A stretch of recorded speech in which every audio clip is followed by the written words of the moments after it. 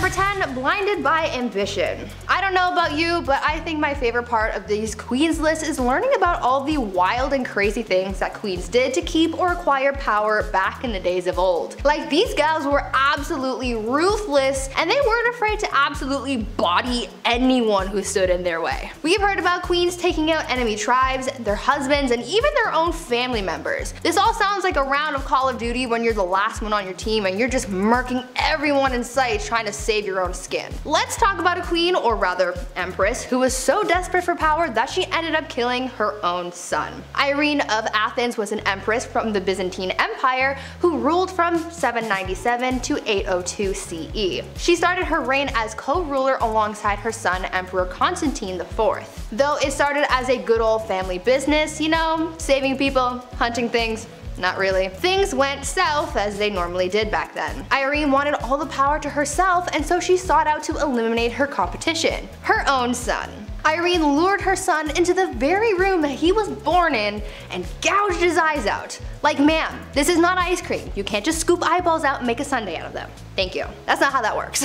Constantine ended up dying as a result of his injuries and since his own heir had passed away earlier that year, the transition of power ended up going to Irene who became emperor. Yes, emperor, not empress, because she was the sole ruler, making her the first woman to do so. Number 9. Topless duels. Yeah, you heard me. Hungarian Princess Pauline von Metternich was married to Prince Clemens, but she was born in 1836 and she had to marry her uncle when she was 20 years old. So, surprise surprise, she was unhappy. Who knew? Weird, right? Since the marriage began, her husband was involved in numerous affairs. He liked going after actresses or singers, anyone glamorous or hot or cool. He barely paid any attention to her. That is until, you know, she started to have fun, live a life maybe. Yeah, once she got over this gross prince, she had a great time. She drank, she smoked, she partied, she defied convention, but most notably, her duel in the summer of 1892. She challenged another royal, a countess of the matter, to a duel and nothing but a corset. Now to this day, it's not yet determined who exactly won this duel, this corset poke off. But a princess dueling in the dark after some drinks, that should be a musical, not Frozen. Get out of here. At number 8, no side bays. A bad relationship can really mess you up. Anyone who's been through a bad breakup can tell you that. Not as many people carry that pain with them as much as Catherine de Medici did back in the day. Hurt didn't even begin to describe how she felt and she really embodied the pain that she was feeling after having her heart broken. She basically turned into the type of person that was like, if I'm not happy, no one else is gonna be happy either. Catherine's husband Henry II of France had a mistress and Catherine was well aware of it. They had been having an affair for basically the whole time Catherine was married to Henry and he loved his mistress more than he ever loved his wife. When Henry was on his deathbed his final request was to see his mistress one last time and as a final FU to her husband not only did she deny the mistress from visiting Henry but she literally made him die alone with no one by his side when he kicked the bucket. On top of this hatred towards her husband though, Catherine was also an absolute B-word to her daughter as well. Catherine would fight her daughter over her romantic affairs. I guess she didn't want her daughter to be like her father. Either way, Catherine got so mad about one of her daughter's affairs that when she found out about her lover, she locked her daughter away in a castle and never saw her again. Talk about a serious grudge. Number 7. Party hard. Zhu Houzhao was the emperor of the Ming dynasty in the early 1500s. Now lately we've been talking about kings and queens, we're on part 2s for both now, and there's a good amount who simply just aren't ready, they're too young to rule. Like Joffrey from Game of Thrones. Kings like that actually existed, they were horrible. They were young, they were too young to know what was right and wrong. Plus they usually have some corrupt parents whispering in their ears the entire time. Zhu took the throne at just age 14, and for a while, ministers were confident that he would grow into the role and become the leader that he was born to be. Well, when he got older he transformed a zoo, just outside of Beijing, he transformed it into his own personal brothel. Yum. I mean on one hand I'm glad the animals are free, but like a zoo? You couldn't find a more romantic place? Can convert an Applebee's to a brothel maybe? I don't know, something with AC? His final days were spent partying and some would say a little bit too hard. He got intoxicated and fell from a boat. That's how he ended his life. Honestly, not a bad way to go out. Pretty OG. At number 6, Love Game. A lot of kings and queens throughout history have been known to engage in the horizontal hustle a lot. I mean, when you're a ruler of a kingdom, you don't really have much to do in your spare time, so what else are you gonna do? Play a board game? No. These monarchs were getting busy all the time, but there was one king who was just so obsessed with getting a good old pickle tickle that it just became his whole personality. King Philip V was known to be a nymphomaniac, and he liked doing the deed a lot, but because at the time, the Catholic Church said that having sexy time with anyone but your spouse was a sin, the king and his wife were getting busy all the time. Eventually, his first wife caught on to how to use this to her advantage, and she would often refuse to sleep with him until she got her way with anything she suggested or demanded from him. You would think that he would catch on to this game, but maybe his urges were just so strong because he always caved and gave her what he wanted. Obviously, this man did not follow Hoodville. Absolutely not. Just to give you guys an idea of how obsessed this guy was, when his wife was on her deathbed, before she went eh, he literally tried to get one last bang in. On her deathbed. Like, dude, not the time. Number 5. George V. We love hobbies here on Bumblebee. I mean, I used to collect special quarters growing up. I swear to God. The only time I've ever been good at saving money was when I was 12. I would see one of these and be like, mm, don't touch it. George V turned out he loved stamps. A lot. Like a lot, a lot. Since he was a wee young lad, he was collecting these little guys. Here's the unusually impressive part about him though and his hobby. He continued to collect stamps during World War I. This guy was busy, everybody's trying to stay alive and George is just licking stamps in the library like a prince. Like all collections, it started at an early age and now it's at the point where it's past impressive and it's just borderline strange. This guy had albums on albums of stamps. He had around 330 albums, each with 60 pages full of stamps. Quick maths, that's like 20,000 pages full of stamps. So naturally he was nicknamed the king of stamps, or rather the king of philately, the official term for collecting stamps. It's a nice word. Philately philately. Back in 1905, he set an all-time stamp record, which I didn't even know that was the thing, and it was the most money ever spent on a single stamp. The guy dropped like 220,000 US on a single stamp. Somebody even asked the prince down the road if he had heard about this idiot who spent 1,400 pounds on a stamp, and he was proud of it. He was like, that was me, that was me, you wanna see it? The next King George is a little different to say the least. At number 4, Womanizer. I'm going to preface this by saying that George IV of England was voted as England's worst king by historians, so that should already tell you a lot about this guy. Georgie here was yet another one of those monarchs who was a little too invested in his intimate conquests, you know? Now we do know that the encounters that he was on were all consensual, so that's a plus. However, he was still creepy about it. Yeah. This man tried everything to get a woman to sleep with him, he would throw a tantrum if she said no, or threaten to end his life if he didn't get to do the eight-legged nature dance, you know? Somehow, this had a pretty good success rate, even though he was not a catch at all. It feels like this was one of those situations where you kind of just give in to make him stop talking, you know? Anyways, this guy was super creepy because on top of the lengths that he would go to just to get some time in the sack, he also kept trophies of his conquests. He would ask each of the people he slept with for a lock of their hair and he kept them all. Back then it was kind of common for lovers to keep locks of each other's hair, but George's collection was alarming because of just how many locks of hair there were. After the king died, his brothers found 7,000 envelopes, each with a lock of hair that was quote, enough to stuff a sofa, end quote. Fun fact, if you want to see this insane collection, it is in a museum in Scotland, so check that out if you want, I guess. Number 3. Kleptomania Part 2. On our spoiled queens list, Brie mentioned Queen Mary and how she just couldn't stop stealing, which is hilarious to me, just this old lady stealing your well, the last king of Egypt also had sticky fingers. He was even better at it too. Check this out.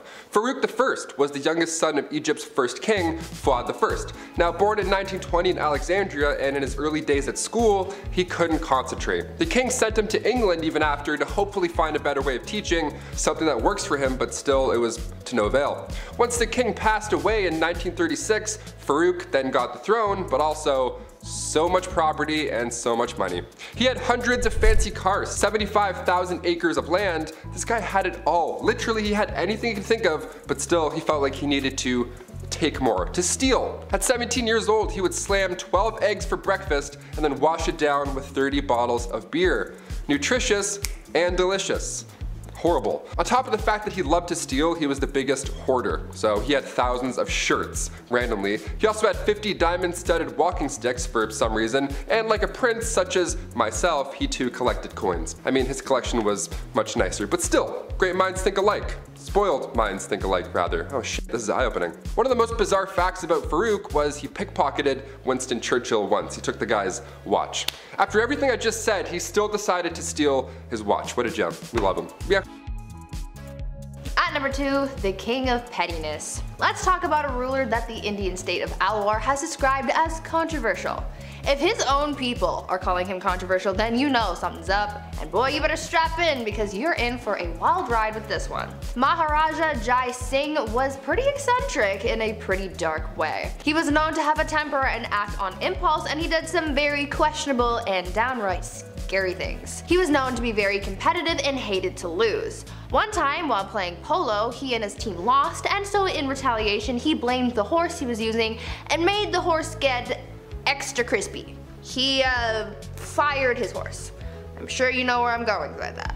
If not, use your noodle, I don't know. Unfortunately, the cruelty towards living things didn't stop at animals and he was also known to kidnap women from the streets and go all criminal minds on them. On a slightly lighter note, though, the Maharaja was also known to be very petty. Once he went into a Rolls Royce dealership and the person working there thought that he was broke and ignored him. Thinking that this was insanely rude, he bought seven Rolls Royces, sent them back to India and used them to pick up garbage. This guy was really just doing the absolute most. And coming in at our number one spot, King Ludwig II. Home renovation shows rock my world. I can watch Love It or List It for months at a time. It's the dream, building your own home one day, ah, and if you're a king, well, it's pretty easy to get that done. In our Spoiled Queens part 2, I mentioned a princess that had a house made of ice, literal ice.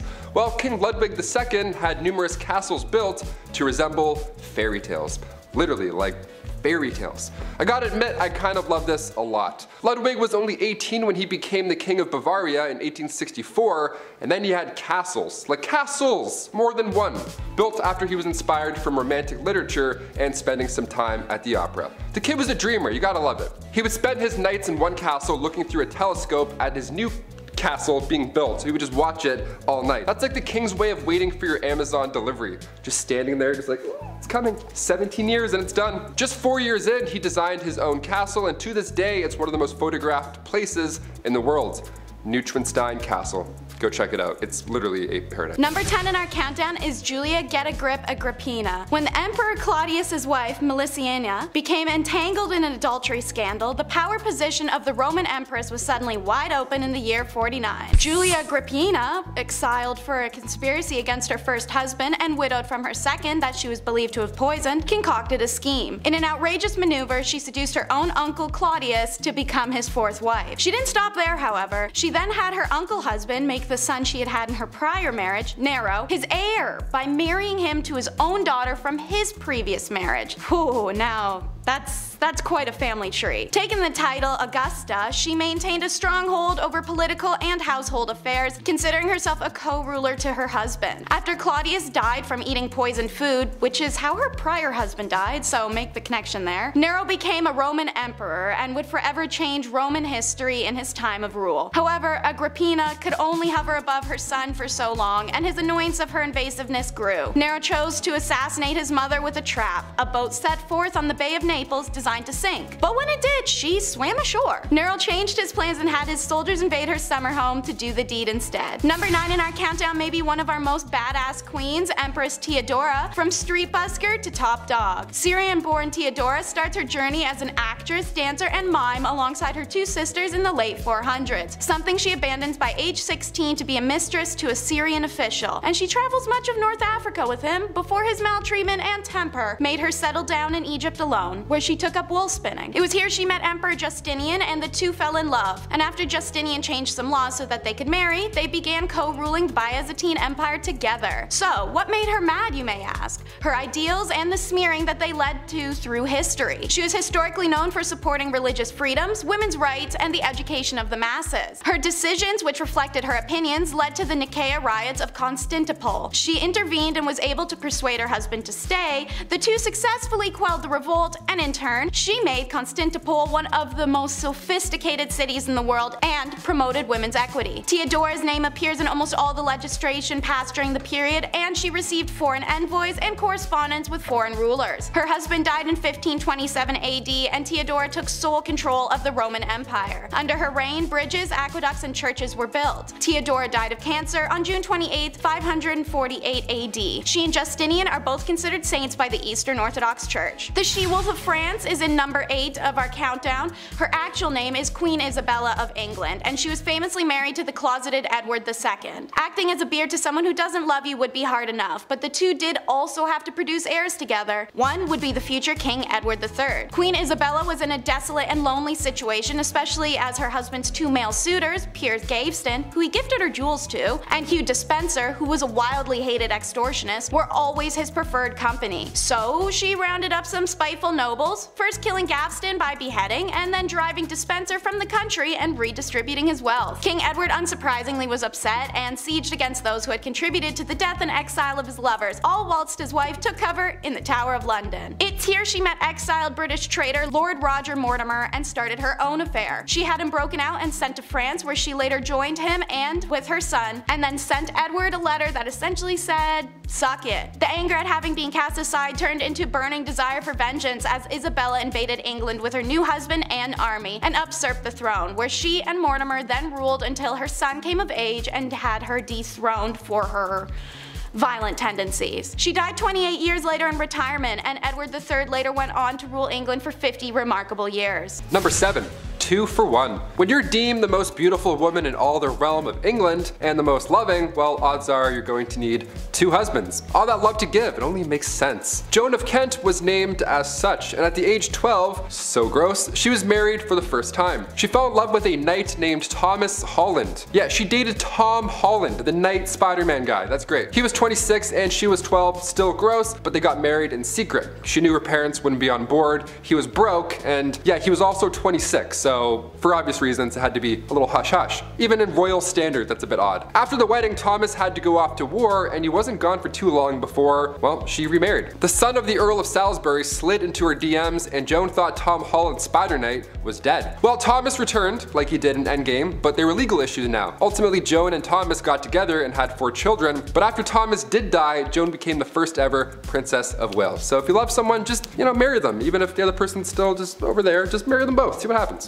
At number six, apple of his eye. I feel like this queen I'm about to tell you about needs to have her own movie made about her or something because the things she did for power were almost unbelievable. I would say that I would want to be her when I grow up, but she's kind of responsible for the deaths of a lot of people, and that's not really something I'm striving for, you know? But she did have a lot of determination. I will give her that.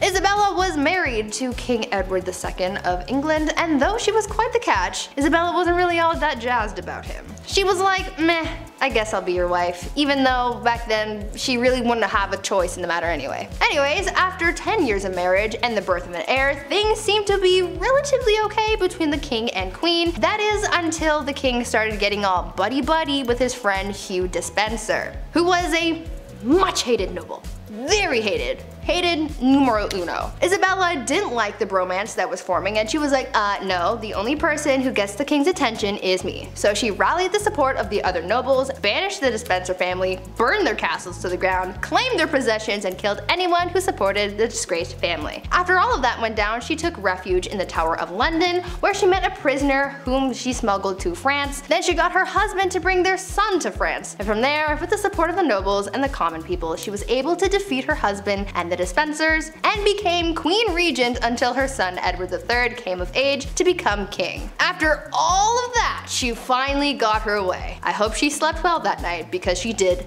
the most. Number 5. Rebel Princess. Princess Leia wasn't the only rebel, okay? Princess Margaret partied with rock stars during the 60s. The queen's younger sister was known as the Rebel Princess. She was seen for years and years as this, well, bad She passed away in 2002, but even to this day, we're trying to piece together her love life. Pablo Picasso actually wanted to marry her at one point. How fun is that? Also, side note, I didn't realize how recent Pablo Picasso died. That was alarming to find out. Guess my whole life's a lie. Her wedding was the first to be aired on TV. That's quite a big deal. The first televised royal wedding took place on May 6, 1960. In 1968, just eight years after, word had spread that the princess had an affair at a nightclub with pianist Robin Douglas Home, who only a year and a half later took his own life. Adds a lot of mystery there. Then come 1973, the paparazzi got photos of her with a landscape gardener on her private island. One of the more unusual facts surrounding Princess Margaret was that she was cremated, believe it or not. She had chosen to break tradition so that her ashes could be shared in the same tomb as her father. How sweet is that? These acts are unusual when it comes to royalty, but Margaret also supported more than 80 charity organizations. But even then, media still focused on her love life.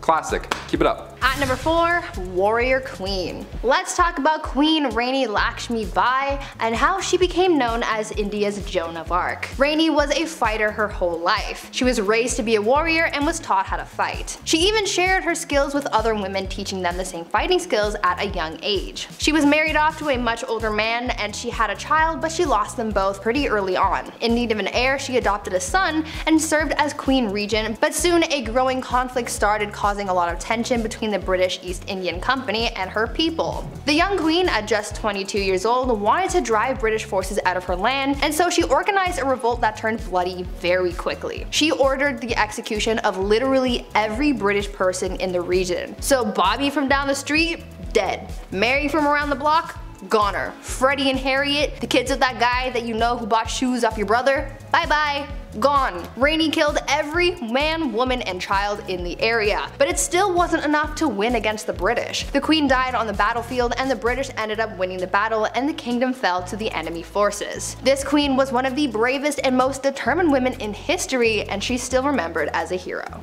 Number 3. Chilonis. The reason we look at princesses like Margaret and say she was a rebel is because most of the time these marriages are chosen. Well rather, women are forced to marry some gross fat dudes. And while he's cheating and eating the wife has to have his kids and be dutiful. So for the Spartan princess from the 3rd century, she too was forced to marry Cleonymus, this older, horrible man. He was so horrible that he wasn't even allowed to have his father's throne. That's how bad he was. He was in the family and still they're like, no. So Chilonis thought, this guy sucks, the system sucks, I'm gonna go talk to the much more pleasant Acrotatus, son of King Ares I. Around 272 BC, both these guys, both her lovers, went to war with each other. Mm, drama. How about the tea on that? Chilonis was preparing to hang herself in case her husband won. That's horrible. Now luckily he lost, therefore the princess this time around did really live happily ever after with her other man. That's like an R-rated version of Shrek 2, what I just said. I can't believe people had to go through this in real life. That's horrible. At number 2, toxic cosmetics. The price of beauty is pretty steep. These days people spend hundreds and hundreds of dollars on makeup to make themselves feel beautiful, but back in the day makeup not only cost a pretty penny, but it also cost some serious health concerns. Cosmetics were made of a lot of questionable ingredients that you probably wouldn't find in today's products, but for people like Queen Elizabeth I, she didn't care what she was putting on her skin so long as she not only looked like a snack,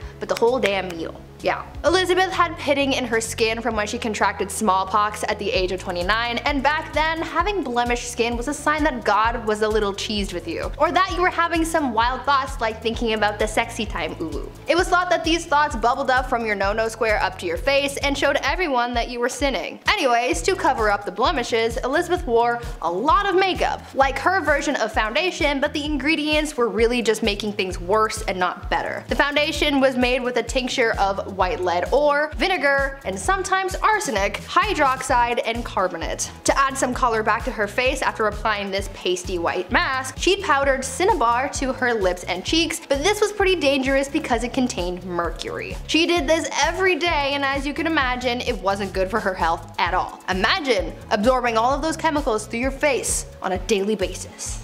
Not cute. And finally, number one, are you not entertained? Back in the late 1800s, the name Clara Ward would stir up a conversation. She was famous, really famous, for all the wrong reasons of course. All it took was her bumping into a European royal and Bob's your uncle. Since birth, Clara was born into money. She didn't even need a royal husband. She was born into a wealthy industrialist family. She would sometimes visit the family mills, you know, to make it look good and kind of be like, hey, how's everyone doing? Whatever, just casual visit. But on this one casual visit, she crossed paths with the Prince of Caraman-Chimay. He was there for trade, but when he left, he brought back a wife. Carry on, also, meet my wife. Here she is. People were freaking out, obviously. A royal marrying a common American girl. Wow, how could you? She was the talk of the town. Unlike Meghan Markle, Clara loved to show off with her newfound wealth. Some loved her and her image, but others not so much. The marriage only lasted six years. Clara eloped with a Hungarian musician, then after her divorce she had to model to make a living rather than showing off for clout. At number 10, some background. The Mughal dynasty in India was founded by Babur, a descendant of the one, the only,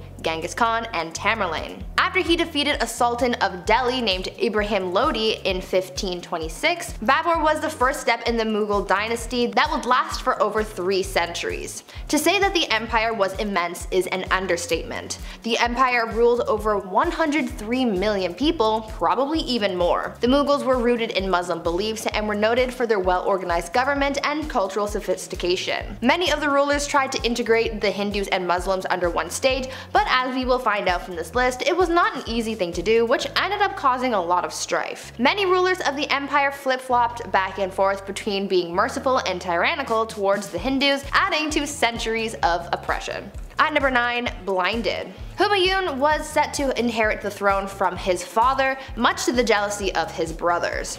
He was 23 when he ascended the throne in 1530 after the death of his father. His brothers reigned over different fiefs, but none of them were satisfied unless they had the crown. He also wasn't the best ruler. Humayun was sent into exile for 15 years after he was overthrown by one of his father's generals, Sher Shah. Humayun fled and eventually ended up in Persia where he built back up an army through his partnership with the Shah. Slowly he took back his land facing his own brothers who were constantly scheming against him, but Babur, his father, made him promise that he would never lay a hand on his brothers.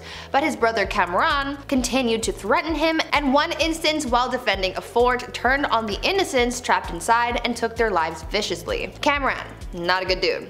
Something needed to be done. He eventually catches his scheming brothers, blinds his brother Kamran, and chains his brother Askari. A little messed up, but like, you know, not bad for war. Before I carry on with the rest of the video, make sure you guys are subscribed to the channel and maybe consider leaving a like on this video if you're enjoying it so far. At number 8, Akbar. Humayun continued to deal with the competition of his brothers until finally his reign came to an end, but not in the way that you would expect. He was carrying a bunch of books up some stairs and he accidentally fell leading to a lethal head injury. His 13 year old son Akbar had to inherit the throne.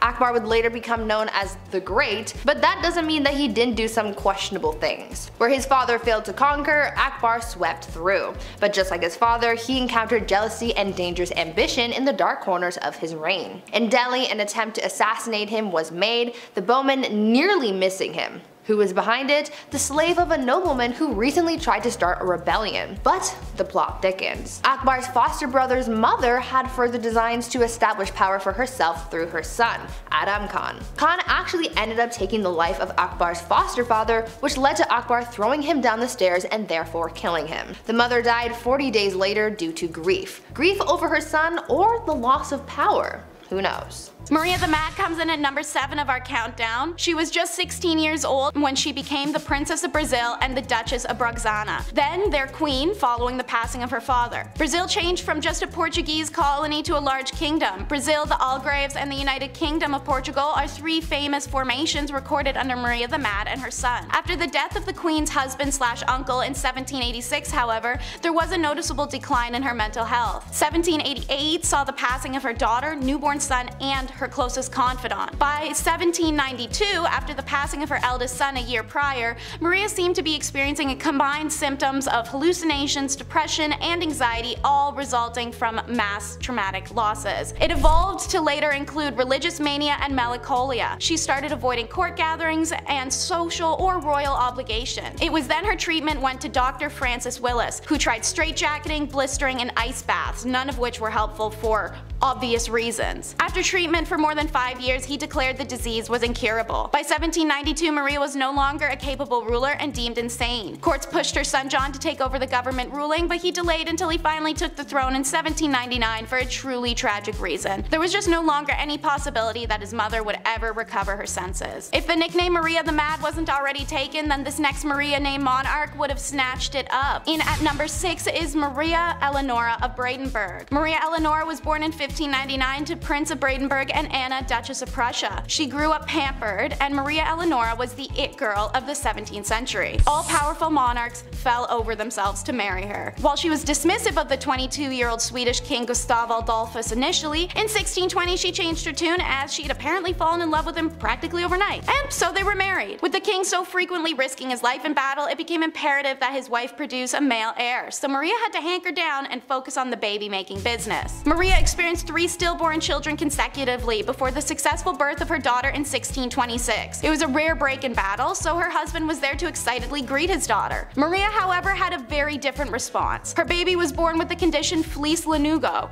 a condition where hair covers the body of a newborn. Her infant was enveloped from its head to its knees, leaving only its face, arms, and lower legs visible. Maria was horrified, claiming to have birthed a demon, and rejected her daughter for the decade to come, even after losing her husband in 1632 Battle of Lutzen. And while everyone mourns their own way, it's easy to say Maria really took it up a notch. She forced their daughter to sleep in blacked out rooms and reportedly hung King Gustav's heart in a golden casket on the ceiling above the bed, making the girl sleep directly under her father's blessed remains. In 1633, Maria Eleonora returned to Sweden with her beloved's embalmed body. She refused to bury Gustav for more than a year, reportedly embracing and caressing the decomposing king. Maria's story continues to become more demented with time and her daughter grows to become her caretaker, especially when troublesome Maria runs away to Denmark permanently and her daughter's left to become the queen and pay her mom's allowance to Danish royals. Awkward. Number 5 may have not gone mad, but it was her favorite emotion, Empress Anna of Russia. She is remembered as a horrible and spiteful child with a cruelty streak. Young Anna it was reported to be mannerless and vulgar. So when her father, who experienced a stroke shortly after her birth that left him handicapped, passed away, her very traditional mother attempted to raise her in classic elements of strict religious femininity, so she may be a quiet and obedient woman. Anna had other plans. She hunted animals, kept guns and swords, and terrorized other children as well as the commoners. This behavior was all a massive red flag for some of the crazy things she'd do later in life when granted power and the means. Anna's only husband ever was Frederick Williams, who at their reception indulged a little too heavy on alcohol and gave him a hangover so wicked that three days later he just died. In 1730, her uncle Peter the Great passed. The Privy Council turned her into the Empress of all of Russia since she was widowed and childless, which was assumed to cause less trouble. The joke's on them because she turned around and immediately abolished the Supreme Privy Council and re-established the autocracy. Now, she had the sole power, and while she made some serious political waves, Anna also made some strange choices. She has a serious vendetta with Peter the Great's daughter Elizabeth, her cousin. Elizabeth was a better looking, younger, and also a rival for her throne. So she ruined her life. No nobleman could marry Elizabeth. If Elizabeth chose a commoner, the empress would strip her of her titles and her claim to the throne. When Anna found out about Elizabeth's side piece, the unhinged empress ordered her men to cut out his tongue and exiled him to Siberia. Anna even woke up one morning and decided to force Prince Mikhail to marry her lower class older maid as a joke. After the ceremony wrapped up, Anna placed the prince, Mikhail, and the maid in a cage, dressed them as clowns, and paraded them on top of an elephant to an ice palace she had constructed for their honeymoon. In the extreme cold of Russia, she reportedly advised them to get to doing the dirty with each other if they wanted to keep their bodies warm enough to stay alive. Maria Eleonora wasn't the only queen who couldn't give up on a dead relationship, pun intended. Number 4 is Joanna of Castile. Never meant to be a princess, let alone a queen, Joanna earned her title and nickname Joanna la Loca through unfortunate means.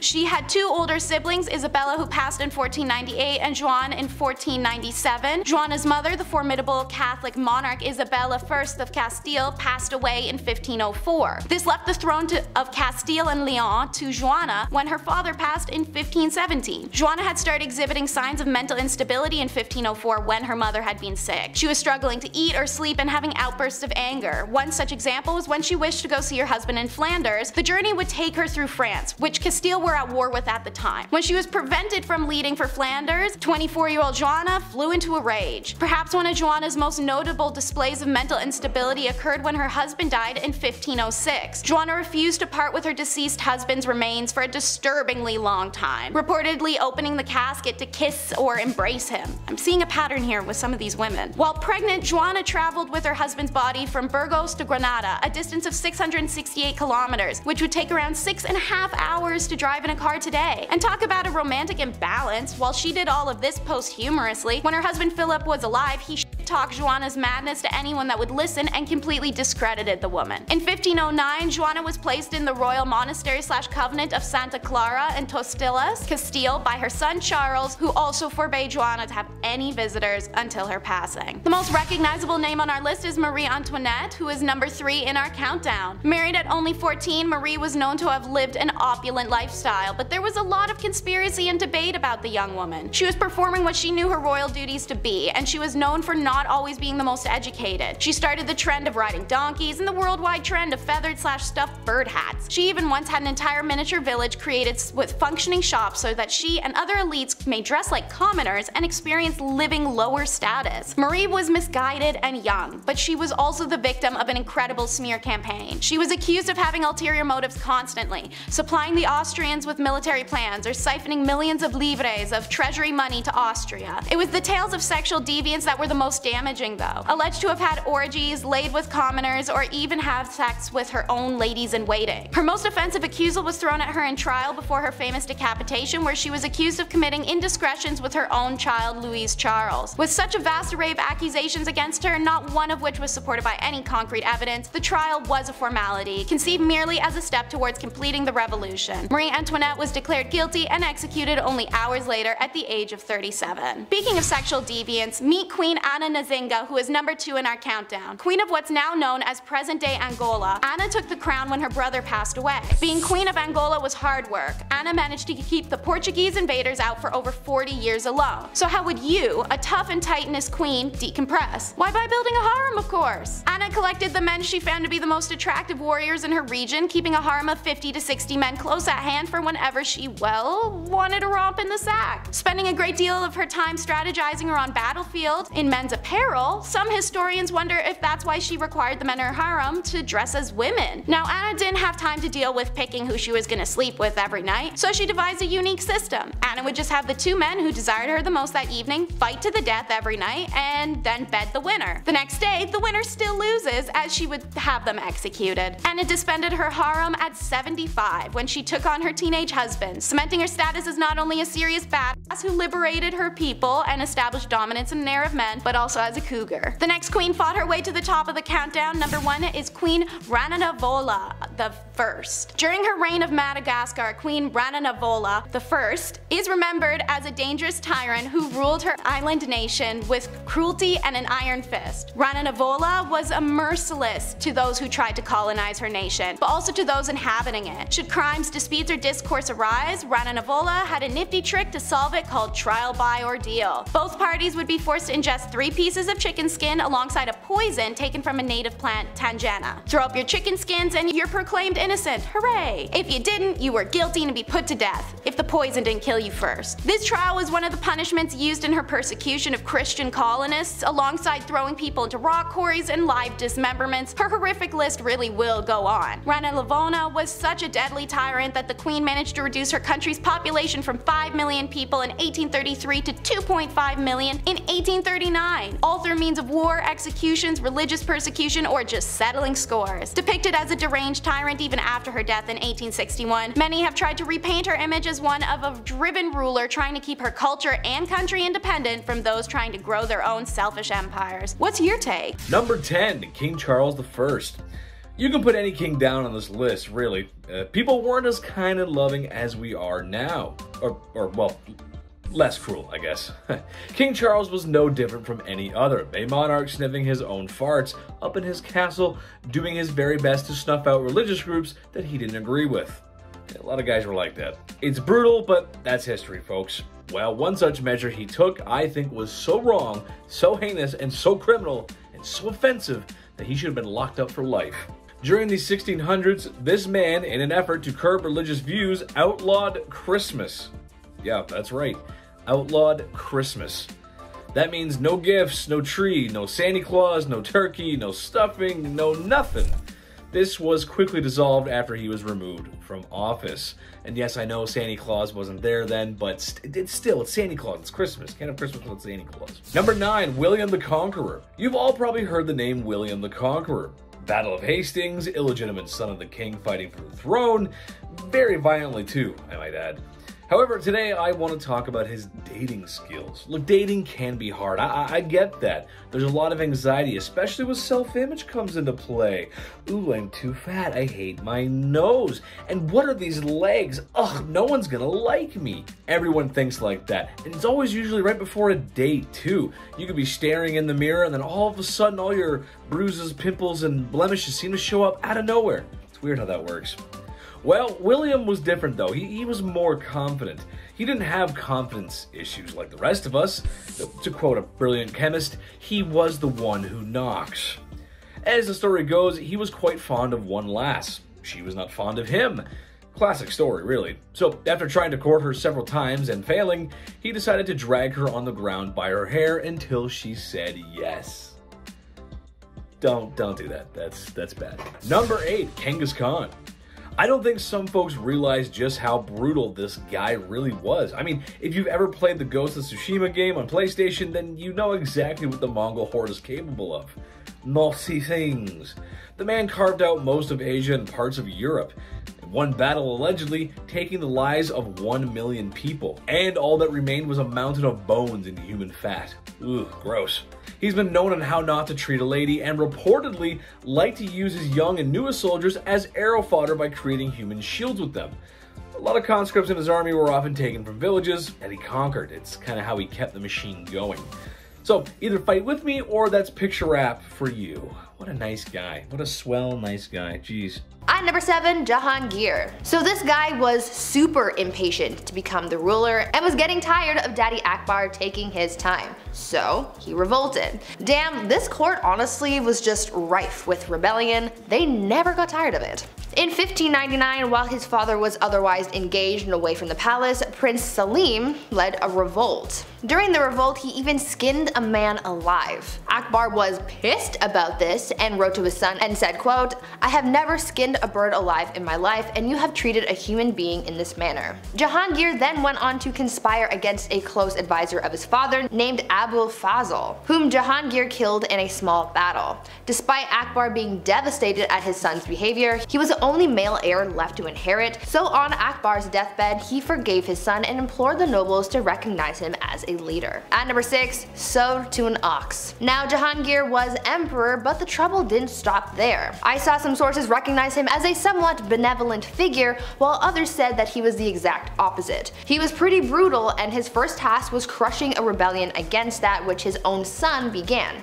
Apple, not far from the tree. He was traveling to Lahore when he came across two nobles who were sympathetic to his son's cause, so he decided to punish them in a very peculiar and violent way. He ordered that one be sewed to the skin of an ass and the other to an ox. Now that is messed up. When he got to Lahore to face the rebels, he crushed them and blinded his own son as punishment.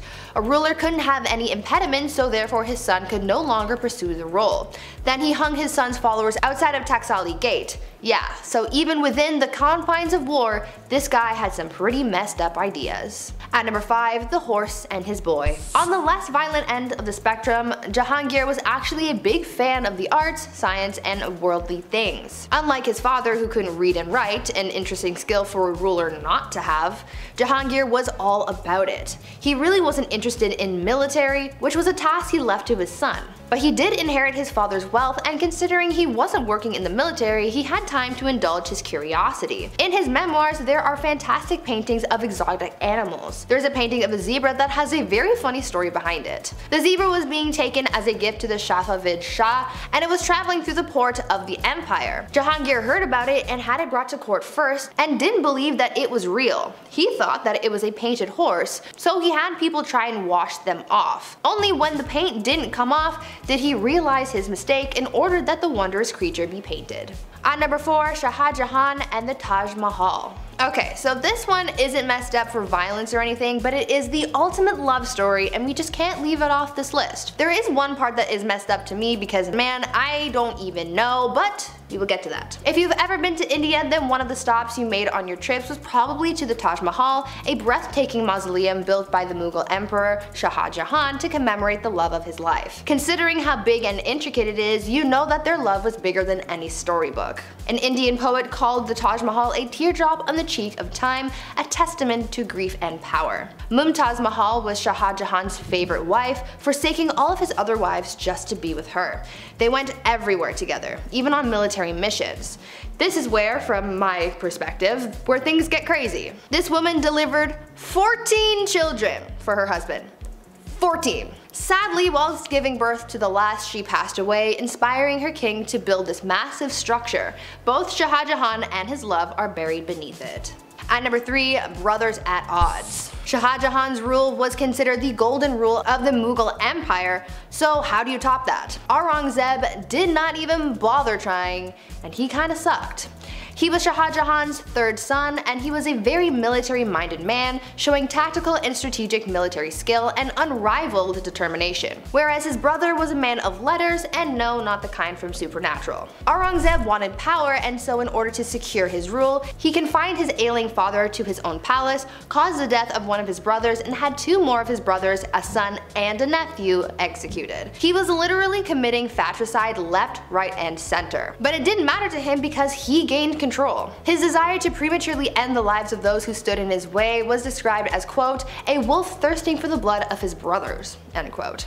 You would think that this motivation to gain power and rule on his own terms would mean that he had big plans for the empire, which in a way is true, but those plans and changes led to a lot of oppression, but we will get to that in a bit. At number 2, Staked. Before we get into the oppression that Aurangzeb caused to his empire, let's talk about Emperor Farrukh Siyar. Farrukh Siyar was emperor of the Mughal Empire from 1713 to 1719. He was described as an incapable ruler who gave his power to all of his advisors. His rule caused many conspiracies and plots to arise within the court.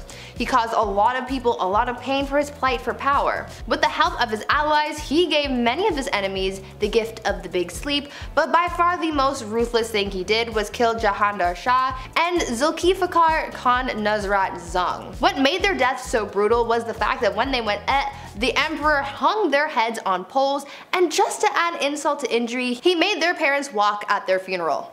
Luckily for the people of the Mughal Empire, Farrukh Siyar was killed by unknown assailants at the instructions of his close relatives, putting an end to his awful reign. And finally, at number 1, The Great Oppressor. Aurangzeb's rule sort of had two chapters to it. At first, Aurangzeb was a capable ruler of a mixed Muslim-Hindu empire who was feared yet respected for his vigor and skill, but around 1680, Aurangzeb's rule changed drastically in both policy and attitude. His once unified people of both Muslims and Hindus broke apart, and people of Hindu faith became subordinates, not colleagues. On top of that, Aurangzeb added some more oppression to the mix and not only destroyed Hindu temples, but he also also reimposed the Jizya tax on non-Muslims, after the tax was initially banned by Emperor Akbar. For the first 20 years of Aurangzeb's rule, he did not impose a tax, but all of a sudden he started demanding these payments, and historians believe that Hindu uprisings are what caused the emperor to act harshly towards the non-Muslim population. This discrimination caused a revolt to unfold that Aurangzeb's third son supported. Aurangzeb spent his last 50 years taking his aggressions out on the Hindus in the empire, and it's for this reason that he is remembered by many as a tyrant. Number 10. Boudica she was very tall, the glance of her eye most fierce, her voice harsh. A great mass of the reddest hair fell down to her hips. Her appearance was terrifying. Sounds awesome to me.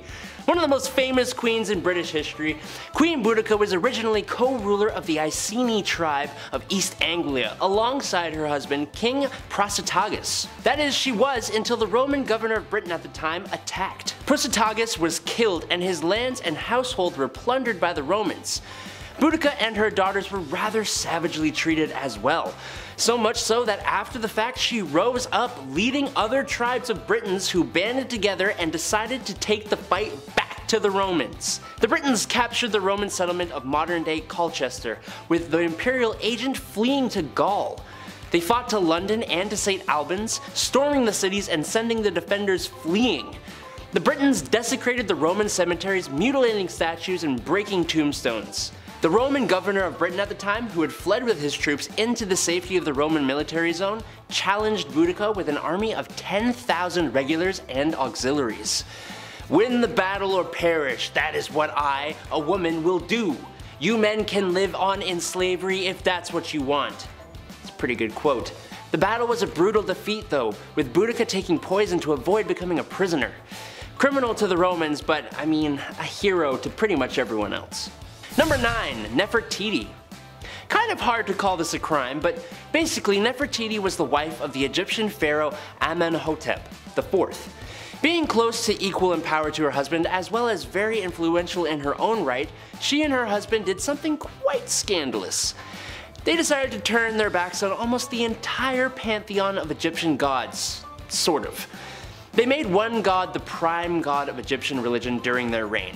That would be the god of the sun, Aten. They moved the capital of Egypt to a new location which they named after Aten, and they even both changed their names. He became Akhenaten, and she became, give me a sec here, um, Nefer Neferatau, nope, Nefer, Nefer Neferraten, Nefertiti. There's like a hyphen in there, I don't know. Both of those names, as you may have noticed, have the name Aten in them. Nobody liked this change and it was quickly reverted after they were no longer in power. Sure was scandalous though. Number 8. Anne Boleyn. Honestly, for most of the wives of Henry VIII, it's a little hard to, well, one, pick one, but also two, really know if any of the things they were accused of actually happened or if they were just easy excuses. But nonetheless, here we are, and since we haven't talked about any before, why not start with the second one, who was, was pretty much the catalyst for Henry VIII and England breaking away from the Roman Catholic Church and forming a whole new church resulting in the deaths of an eventual thousands of people. You see, divorce is strictly prohibited in the Roman Catholic Church, so when Henry met Anne, his wife Catherine, who had not produced him a son to carry his name, just kinda had to go prompting the whole damn Reformation. Was it worth it? No, because the marriage lasted three years before she was charged with infidelity and incest, and lost her head. I kind of feel bad for anyone associated with King Henry VIII though. Number 7. Galeazzo Maria Sforza. This guy was just bad. Like, like all bad. Not like Deadpool where he does some bad stuff for good reasons, anti-hero kind of guy. Nah, this guy's just straight bad, straight evil. In one story of the Disturbed King, he had a rival's hands chopped off.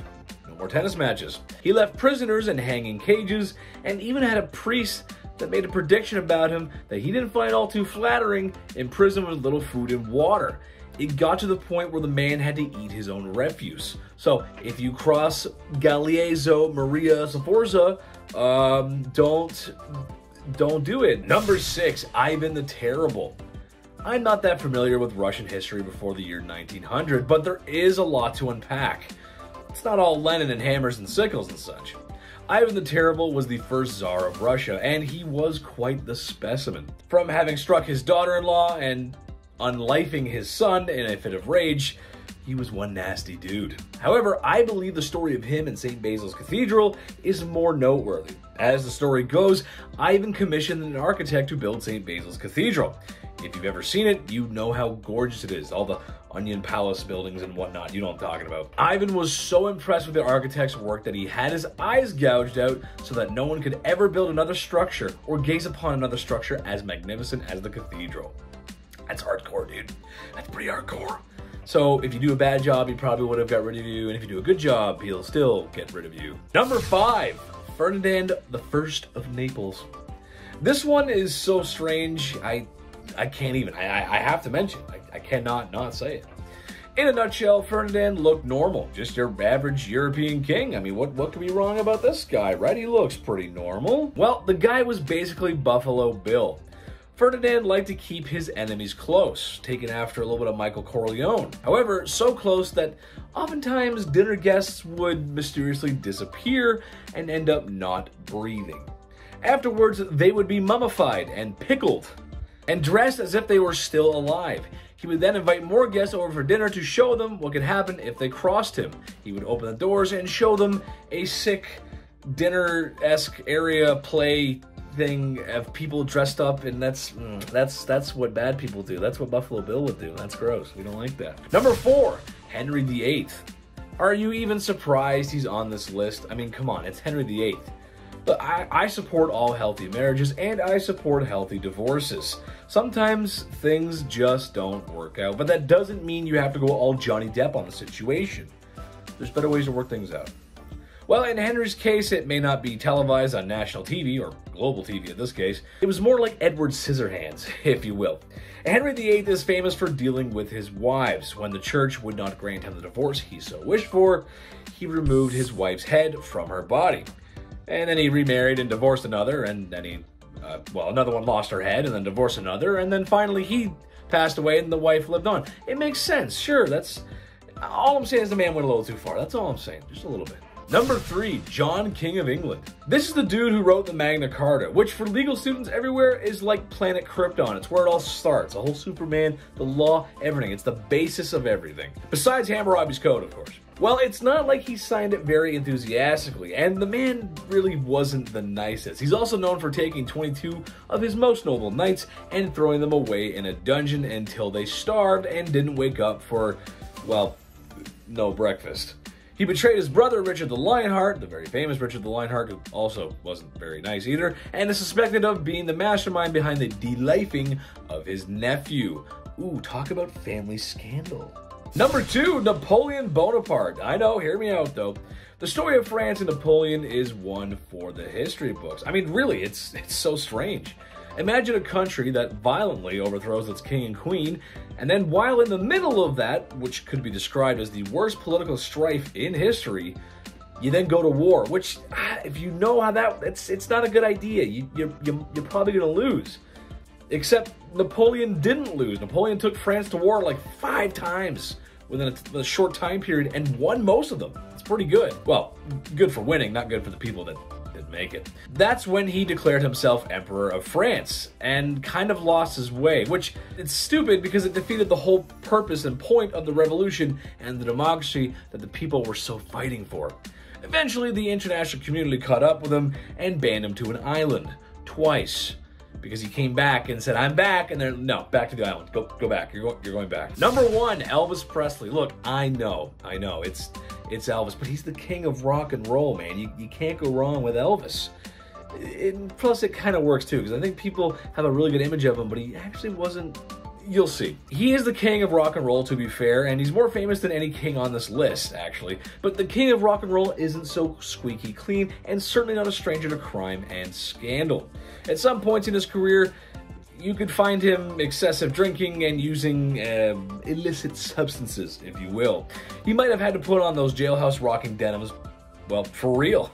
Back in 1956, at the peak of his fame, really, Elvis got into a physical altercation with two gas station attendants after fans began to crowd him. It was a messy situation, and he was actually up on charges of battery and disorderly conduct. Not a good look for the king, baby. The king's gotta stay clean. In our number 10 spot, we have Irene of Athens. Starting off this list today, we are heading back to the Byzantine Empire. Irene of Athens was the mother of Constantine VI, and while the pair co-ruled together for almost two decades, things ended in quite the tragedy. After the pair co-ruled, Irene did go on to rule on her own from 797 to 802 CE, but you might be wondering how she managed to outrule her son. Well, Irene, the ambitious ruler wanted full control all to herself, so she asked for the help of some political allies to pull off a scheme against her own son. She began to lead a conspiracy against him to try and get him out of power. The duo did end up reconciling their relationship, but this is not where the story ends. In 786, the public began to turn their backs on Constantine because he had decided to divorce his wife and instead marry his mistress. Irene saw this as a second chance and once again chose to conspire against against her own son. Honestly, fool me once, shame on you. Fool me twice, this lady did not care. Here's where things in the story get exceptionally gory. Irene not only ordered the arrest of her son, but also ordered that his eyes be gouged out. Yep, that's how good old Mumsy came into power. In our number 9 spot today we have Elizabeth Bathory. Elizabeth was a Hungarian noblewoman who lived from August of 1560 to August of 1614. She was born into one of the oldest and most powerful families in Transylvania, and she was well educated and ran various estates and bore many children. Oh, and this is all happening while she was also killing young women and bathing in their blood. Yeah, weird, gross, terrible. Elizabeth is known for killing her servants and bathing in their blood as she believed it would keep her young. Guess no one told her about moisturizing and minding your own business. All accounts of Elizabeth remember her as a terrible, evil person. It is said that her number of victims most likely ranges somewhere from 175 to 200, but some claim it might be as many as 600 people. It is no wonder she is referred to as Countess Dracula. In our number 8 spot today we have Olga of Kiev. Olga of Kiev became queen regent in 945 CE after her husband was killed, and during the time her son was just too young to rule. Olga knew that once her son was old enough to be crowned king, her power would be taken away, so she needed to see her wishes carried out before that happened. Her wishes included the capturing and killing of those who took the life of her husband, which was carried out using scalding hot water. Yeah, don't even want to imagine what that would have been like. Don't kill the king, I guess. Historically, it doesn't seem to work out well. Apparently, in doing this, however, Olga developed a bit of a bloodthirst, and she would not rest until everyone associated with the people who killed her husband were all eliminated. She is the ultimate ride or die. It seemed like if you even looked in the wrong direction or breathed in the vicinity of someone who had something to do with the king's slaying, you could kiss your own life goodbye. Olga took hundreds of people out of the tribe that the killers were from, she devised a plan to bury the tribe leaders alive, and she even came up with a plan to set fire to their entire village. It is said that Olga may have locked the tribe's leaders in a bathhouse and burned it down, but we don't know for sure. All we do know is that she was not okay. Number 7. Queen Dida Queen Dida of Kashmir was quite an ambitious queen mother. Dida seized complete administrative control during her husband's reign, ultimately becoming queen regent for her son and grandsons. That ain't enough for Miss Didda here. Mere advisory for her? No sir, she despised being just an advisor, and well, she disposed of all three of her grandsons using medieval forms of witchcraft and torture. Yikes. How dare they make Jima their advisor? Queen Didda got what she wanted at least, as she then reigned as monarch for 23 years, being in some form of power for nearly the whole of Kashmir's 10th century. And while she may have been more than a little brutal, she was honestly one of the best and strongest rulers Kashmir has ever had. Number 6. Queen Nandi Queen Nandi of the Zulu Empire has a story that literally sounds like it's straight out of a movie. Before the Zulu Empire ever came to become a thing at all, Nandi was impregnated by a Zulu chief in the 1700s, giving birth to a son they named Shaka. But being the third wife of the chief, she and her son were often ridiculed and shamed by other chieftains. Despite all that, Nandi raised Shaka to be an extremely fierce warrior. Shaka grew up to become the Zulu chief in 1815 and Nandi became the queen mother alongside him, known in English as the Great She Elephant. She, alongside her son, wreaked havoc on those who had mistreated her and Shaka. But since Shaka remained unmarried, it was Nandi who, funnily enough, remained the power behind the throne of the Zulu Empire throughout her lifetime. She is the reason the empire ever existed in the first place, and if any of what she did was a crime, eh, I kinda get it. Number 5. Julia Agrippina, Nero Maker. Yes, making Nero should be considered a crime. But honestly, Julia Agrippina of Rome did quite a bit more than just that, and I can see where Nero got it all from.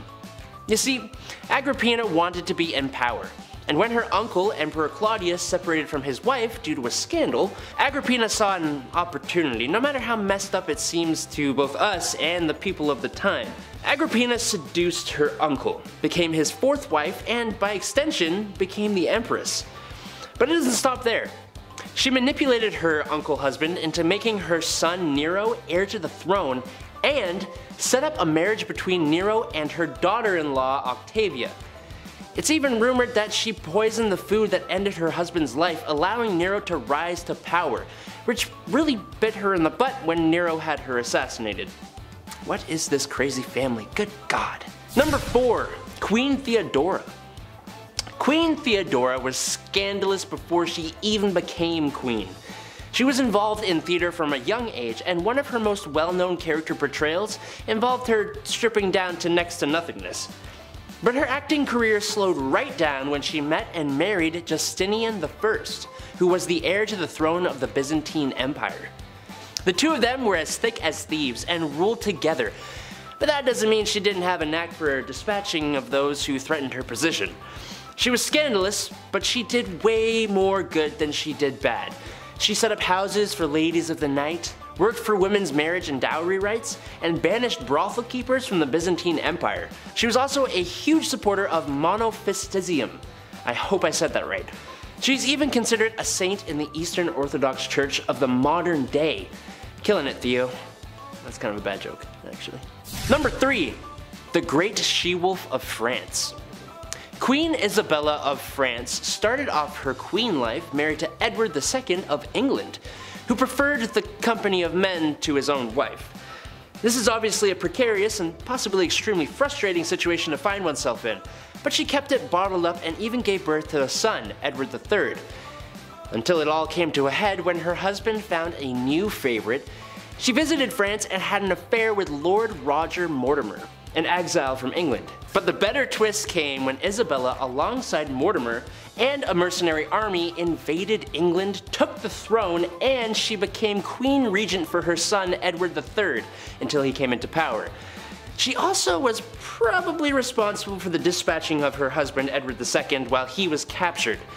Eventually, her son would come into power, and she was imprisoned for two years before being allowed to live a quieter life in retirement. Number 2. Queen Fredegund. I was constantly double taking almost the entire time I was reading about this woman. She was crazy ruthless and all seemingly for the betterment of both her bloodline and the Merovingian kingdom. She became queen in the 5th century, marrying King Chilperic, and organizing the death of Queen Galswintha and sending Queen Audovera to a convent. When Brunhild, a big enemy for the king, and sister of the late queen, swore vengeance on them, Fredegund brutally destroyed Brunhild's husband and sisters, destroying them as in that kind of thing. The queen also made sure that all of the other heirs to the throne stopped breathing, making it a sure thing that her bloodline would occupy the Merovingian throne. Her son, Clotar II, was only a baby when the king met his end in 587, so of course, this ambitious queen rose up to power, fighting battles, quelling rebellions, and ensuring the smooth running of the Merovingian kingdom in her role as queen regent. She met her end in 597, 10 years after her husband, but Clotaire II continued in his mom's footsteps, having Brunhild and all her descendants removed from existence, resulting in 20 years of peace. So it's good. Number 1. Cleopatra a list of scandalous queens would not be complete without one of the most well-known and famous rulers in history.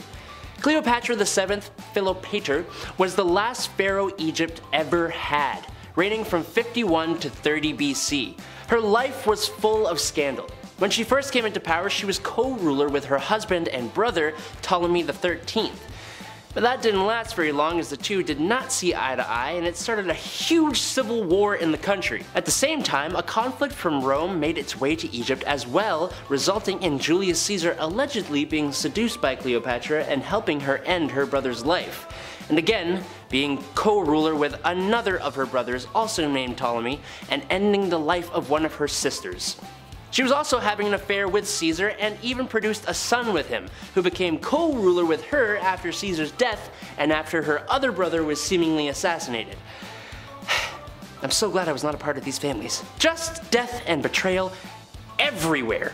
She then went on to seduce second Roman triumvirate member Mark Antony and sided with him when Octavian and Mark Antony engaged in the final war of the Roman Republic, which Antony lost, fighting with and alongside him until she poisoned herself to avoid being paraded through Rome and executed by the victorious Octavian. Number 10, Marie Antoinette. I wonder what it must have been like to be the Queen of France. To sit in a palace and eat all those delicious foods that your cooks can make while the peasants outside struggle to eat and sing about bread for some reason. I don't know, Les Mis reference. It's a life of beauty, balls, and not listening to what the stinky peasants outside have to say. Except that's the very reason why Marie Antoinette was the last queen of France. You can only spend so much time and money on your exuberant lifestyle before the people get fed up. I mean, these people have nothing. It's kind of difficult to control people when they don't even have food at home. They let the queen know how upset they were when they decided to remove her head from her body. Number 9. Bloody Mary, Bloody Mary, Bloody Mary. Sometimes it's just in the name, isn't it? Like Mario, you know that he's an Italian plumber. Or Luigi, you can tell that that's an Italian plumber's brother. And uh, King Dedede, king of the DDDs or, or something. I, I, don't know. Okay, maybe the names don't always give it away, but Bloody Mary does. Most known for her liberal use of the wooden stake and the whole uh, burning folks alive thing. I, I wish I could tell you it was for barbecue, but it was actually for some more serious religious persecution and, and, reformation. The Catholic Church was hot, but the witches and heretics burning at the stake were hotter. No cap. Number 8. Reina Valona of Madagascar. This one is a new one for me. Didn't know about this, but here we go. So basically, Queen Reina I'm gonna say I'm just gonna call her Queen Ravioli because I can't pronounce it. Basically, Queen Ravioli takes over from her past husband. She says to herself, "How can I make things better?" Oh, I know. How about I become a ruthless, bloodthirsty, unaliving tyrant?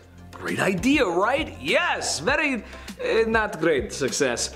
Yes, unfortunately, she did many heinous things. Something I found out to be particularly Interesting, however, was her destroying the many good things her husband had set up before her. Madagascar had some European intervention, and while it's true that a lot of times that is a bad thing, and yeah, it's a bad thing. And it does bring some bad stuff with it. However, it also brings a lot of good things with it. In Madagascar's case, it was markets, modern schools, trade, and diplomacy with, with Europe. And that's, that's good. Money's good. You like that. Well, the Queen wasn't having any of that, so she reformed.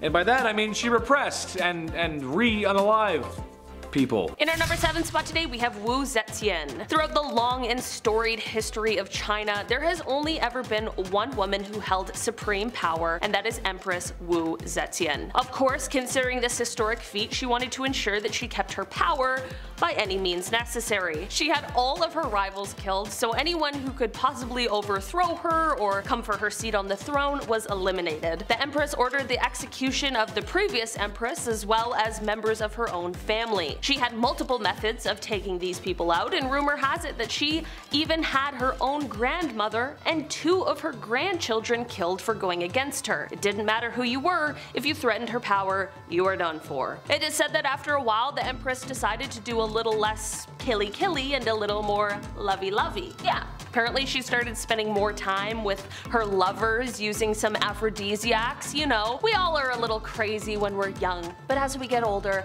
we all crave the simplicity and just someone to love. Right? Of course though.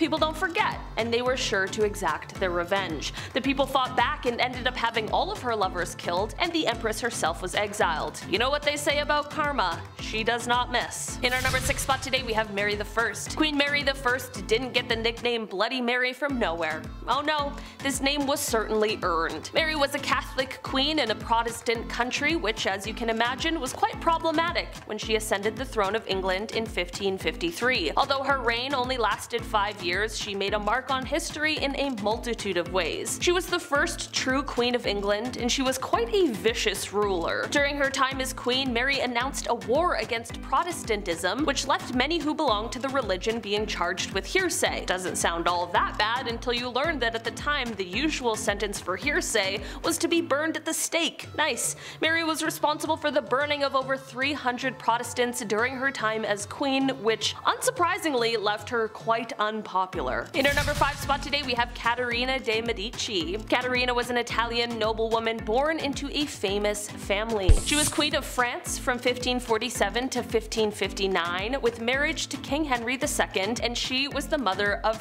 four future French kings. It wasn't exactly surprising news that her husband, Henry II, had a lifelong affair with a mistress, but on his deathbed, when he was begging to see his mistress, Caterina refused and left him to die, a lonely and painful death. Do I entirely blame her? No, but it's also a pretty heartless move, you know what I mean? The daughter of the queen, Margaret, was said to be rebellious, but her mother wasn't just going to let her get away with it. The mother and daughter would fight over the married daughter's extramarital affairs, and it is said that Caterina's scream could be heard echoing throughout the palace. One fight between the two even saw her locking her daughter up in a castle, never to see her again. In our number 4 spot today we have Agrippina the Younger. Roman Empress Julia Agrippina of Rome was pretty spoiled. She lived a lavish life. Her husband was the emperor and she had a family, but that just wasn't enough for her and she wanted it all. Julia was quite ambitious and she spent most of her early life trying to dethrone her predecessors. She believed that she and her son had a claim to the Roman throne by birthright, so she tricked her way into royalty by tricking her uncle Claudius into changing the Roman law so that they could get married. Suddenly though, after they got married and she became empress, Claudius died. Could be a really convenient coincidence, or it could have been a totally planned hit. I'm not accusing anyone, I'm just telling you what the word on the street is. She and her son Nero went on to rule Rome from 49 to 54 CE. Julia stayed by her son's side for as long as she could so that she could hold on to her power, but eventually Nero got tired of his mother manipulating him and he had to force her out of power. Julia, as you could imagine, was furious because power was the one thing in the world she desired the most, and so she rallied a group of supporters to try and overthrow him, but the plans backfired and she was expelled instead. In our number 3 spot today we have Maria Eleonora. Maria of Brandenburg, the Queen of Sweden, has quite a horrifying story that relates to the birth of her daughter. Apparently, Maria wasn't feeling the overwhelming joy of childbirth because although she was hoping for a son, she gave birth to a daughter, Queen Christina. Maria wasn't shy about her opinion. She apparently screamed that she was given a dark and ugly daughter with black eyes. Okay, it's kinda rude. She referred to her new child as a monster and apparently just absolutely did not want anything to do with Christina and would have rathered that she just didn't exist. Apparently she even placed Christina to sleep next to the corpse of her father who had passed away. It's like a different kind of messed up. Things clearly weren't right with Maria. In our number 2 spot today we have Queen Isabella. Isabella co-ruled Spain from 1451 to 1504 with King Ferdinand II and during her reign she had some pretty horrific views and feelings. She wanted to get rid of all Spanish Muslims and Jewish people from her kingdom. Sounds a bit like another evil ruler from history. In 1492, she ordered that all Jewish people either convert to Catholicism or get thrown out of the kingdom. She made them all come to Spanish court to either pledge their faith to Catholicism or get exiled from Spain. How horrible is that? The queen has also been attributed with establishing the Spanish Inquisition, which definitely is not a historical highlight. Both Isabella and Ferdinand are often said to have done great things for Spain, which in some cases is true, but at what cost and for what reason? In our number one spot today we have Ranavalona I, the last queen of Madagascar. She ruled the kingdom for 33 years from 1828 until 1861. There is no doubt that she was committed to her kingdom and that she would do anything for it, but in this plight, she was cruel and violent. She initially came to power after the death of her husband and once she had it, she was not letting it go. The queen was able to keep away the advances of the French and British and she left the bodies of those who tried to attack out for display on the beach. In 1845, the queen ordered 50,000 subjects to build roads across the jungle for four months. They were meant to have this massive buffalo hunt. Well, she clearly wasn't thinking everything through because 10,000 of those poor souls died of starvation and exhaustion, and uh, not one buffalo was hunted. Some records of history state that she even had her own uncle executed in order to protect her power, and there is an even more gruesome story. Some people even state that she ended her own mother's life by starving her to death. That is some epic level of evil, if it's true. Kicking off the list at number 10, A Goodnight Kiss. We'll start off funny, okay? History can be funny sometimes, even when it's not meant to be, and it's meant to be completely serious, I can't help but read this information and laugh. Royals were sweating constantly about people trying to take them out, of course. I mentioned Boy Jones on here a few times. That guy stalked the queen over and over for years. Historically, these royals have been on the lookout for enemies, and the way that they prevent these attacks, yeah, sometimes it can be a little funny. Like the kissing sheets for example, have you heard about this weird position in the castle? What an odd job this is. A great deal of monarchs hired taste testers to make sure nobody poisoned their ale, which is, you know, pretty lousy job there. Either having a good day or a bad day, no in between.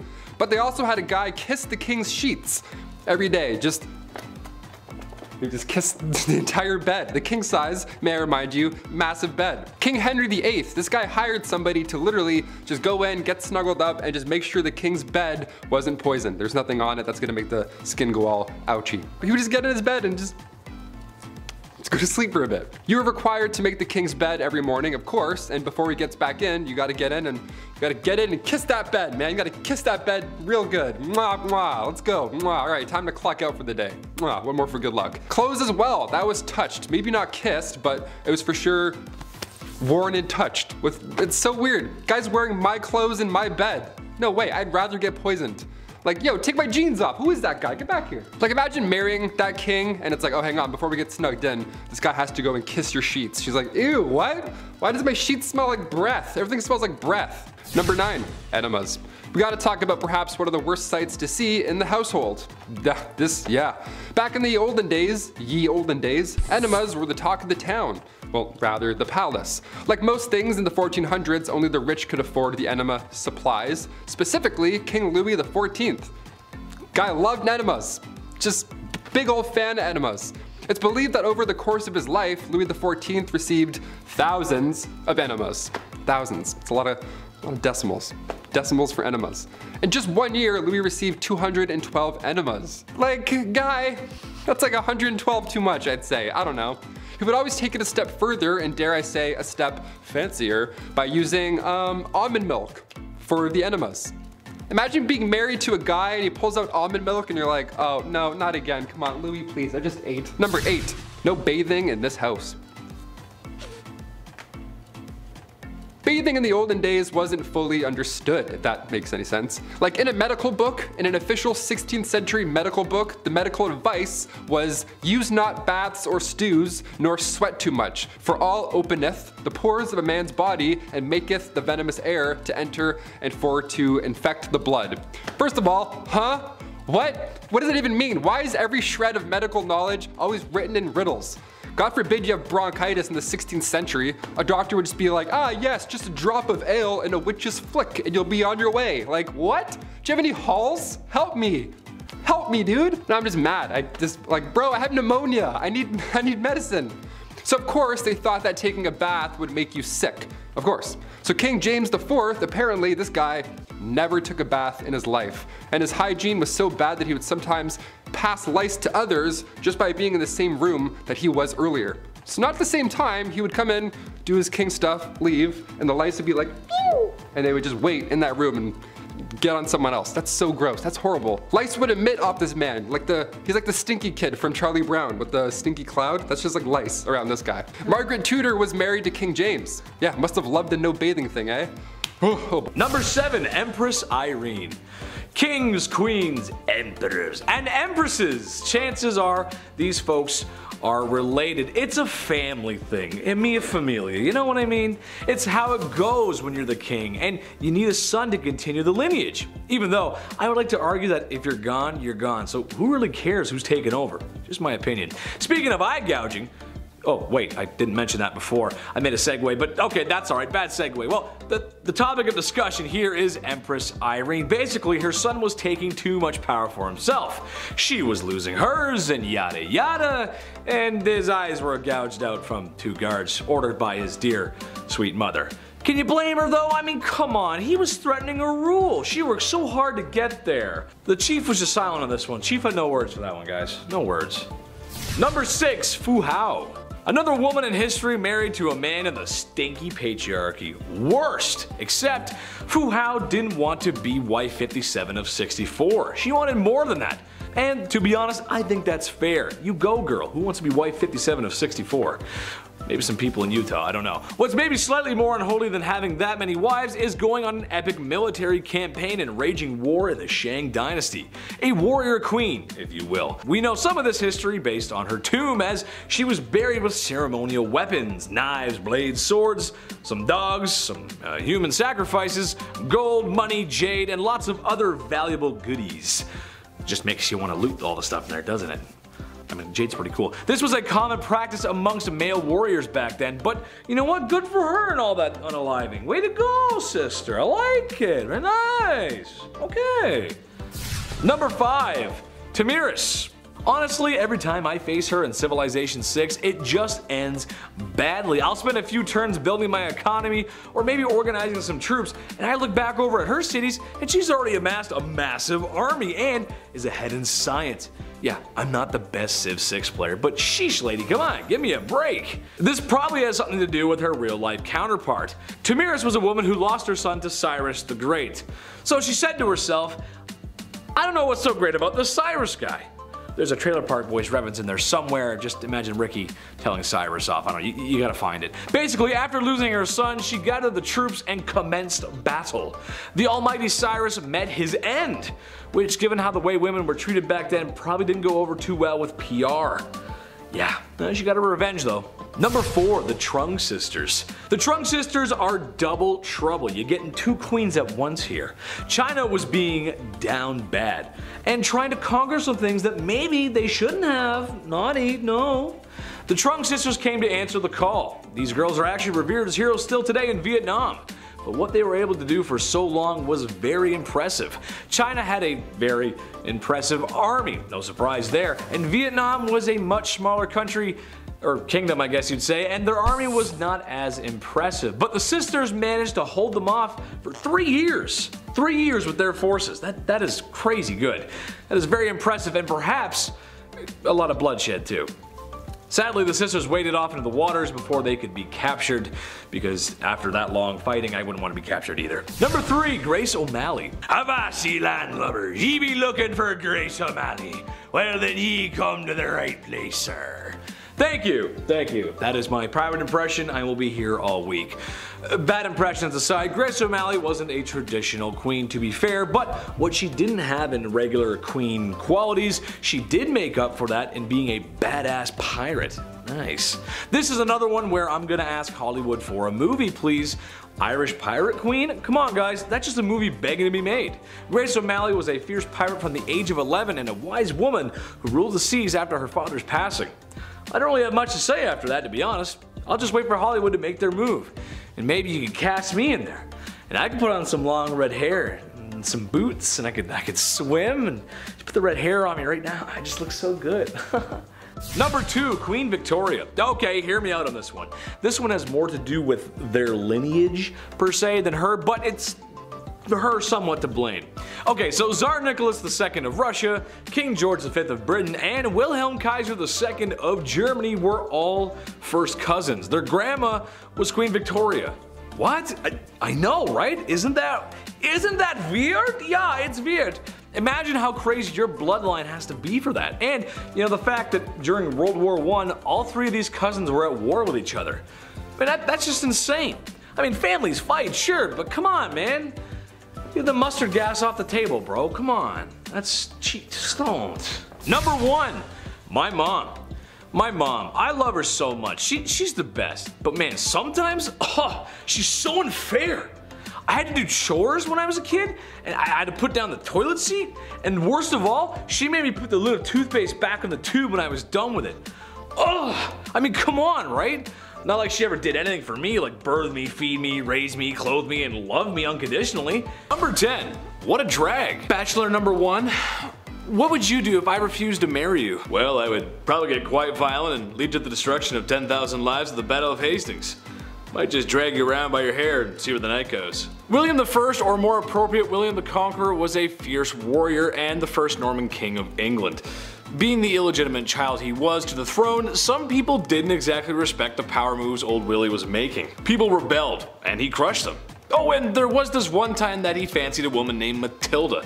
Being the respected woman that she was, she declined Willie's advances. Willie, not taking no for an answer, promptly dragged her around by the hair until she agreed to marry him. Gee, what, what a swell guy. Number 9. Let them eat cake. France had seen better days in the 1790s. People were starving, the economy was bust, and for some reason the poorest citizens were being taxed the most. When cries were made from the people, they demanded that change be made. King Louis XVI being the great leader he was, he listened to the people and there was no problem ever again.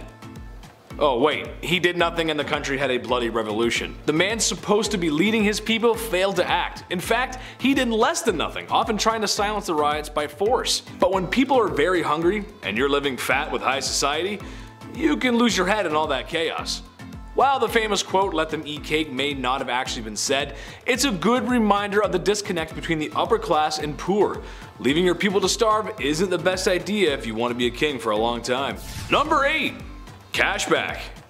King George III had a simple ask of the American colonies. Right then, we just saved you all from the French and Indians, so now it's time to do the right thing and pick up the bill. Britain introduced new taxes on the colonies in order to pay back what it had spent on the previous war. But in reality, he was asking the colonies to pay up without much in return. Basically, I'm the king, I saved your skins, give me more money, which most people at the time couldn't afford. And I'm still gonna boss you around. The British Empire may have been victorious, but it was the colonists who felt all the effects of the war and the economy. This happened multiple times before some patriots had had enough and decided to act. And what he did when the people he was forcing to give money spilt a little tea? Well, he sent British troops for a semi-friendly military occupation. I hate to loan this guy a nickel. Boy. Number 7. Queen Caroline. Queen Caroline. Ba ba ba. She went out in a horrible way. We can't sing about her. History remembers Queen Caroline for the way that she went out. It was bad. It was actually written down in an epigram attributed to the 18th century poet Alexander Pope. Here lies wrapped up in 40,000 towels, the only proof that Caroline had bowels. Again, it rhymes. Why do all the, why is everything rhyming? This is so awful. Who can be like, yeah, yeah, write that down. That's good. That's good. Wait, wait. It does rhyme. That's good. Yeah, checks out. Rest in peace. My gosh, her husband, he was certainly no help at all. Caroline was previously married to George IV, and this guy locked her out of Westminster on Coronation Day. So yeah, she went out in a horrible way, but let's not forget the marriage that came beforehand. That wasn't pleasant either. Nothing in this guy or this marriage was pleasant. Number six, Henry VIII. Of course he's back. He had six wives and it was pretty much entirely bad for all of them, yeah. It was the late 1400s. Henry took the throne in 1509. This guy was only 17 years old when all of this madness began to unfold. Only days after the execution of Anne, who I mentioned on part one of this list, so days after he married his third wife, Jane Seymour. Anne Boleyn and Jane Seymour's mothers were first cousins, so they were close, and during all of this, they of course went head to head more than once. Jane died shortly after giving birth to Edward VI on October 12, 1537. I can't mention King Henry's wives and leave a couple out. This is just a history channel. We have to mention all of them, okay? Number 5. George V.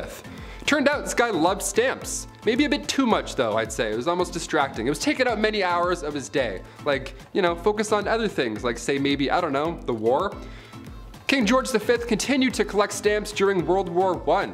Everyone's trying to stay alive. George is just in the background like,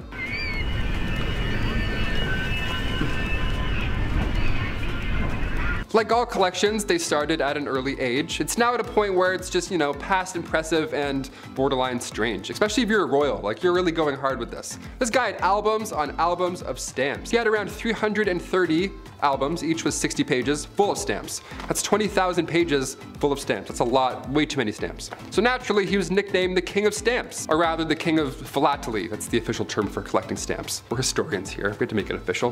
Back in 1905, he set an all-time stamp record, ho ho, the most money ever spent on a stamp. This guy dropped like 220,000 on one single stamp. Somebody even asked the prince down the road if he had heard about the fool who had spent 1,400 pounds on a stamp. And he was proud. He was like, oh, that fool? It was I.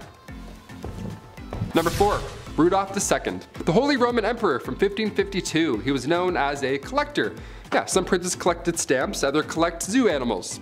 We're all different. Yeah, his castle was home to lions, tigers, and not bears, but orangutans, so good luck getting your eight hours. He also collected human artifacts, like body parts after they've been, you know, so that's Watch your step, I guess. Welcome to MTV Cribs. Don't mind the jar of eyes. Watch out for the lion's tail. Careful.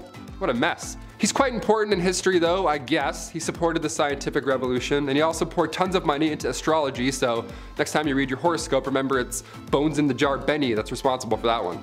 And also, in case you're wondering, yeah, he didn't pay attention to any of his wives or anything like that. He was just, no, jars for me, jars animals, I'm all set. Number three, Don Carlos. Spanish crown prince, the guy who just enjoyed being the worst human alive. Let's talk about him. Back in the mid 1500s, the eldest son to King Philip II of Spain was, yeah, I want to say worse things, but he was just a really bad person. YouTube, he was just a bad guy. Now it's been noted that he was born with a hunchback and one leg was shorter than the other. Historians like to bring that up first and how maybe he had the odds against him with these disabilities growing up and people often feel bad for him a little. To that I say don't. Nah, don't do it. Don Carlos was made hero of the opera by his dad. Dude was fine. Philip II of Spain? Yeah, he would hurt a lot of people. He would hurt animals and people just for fun.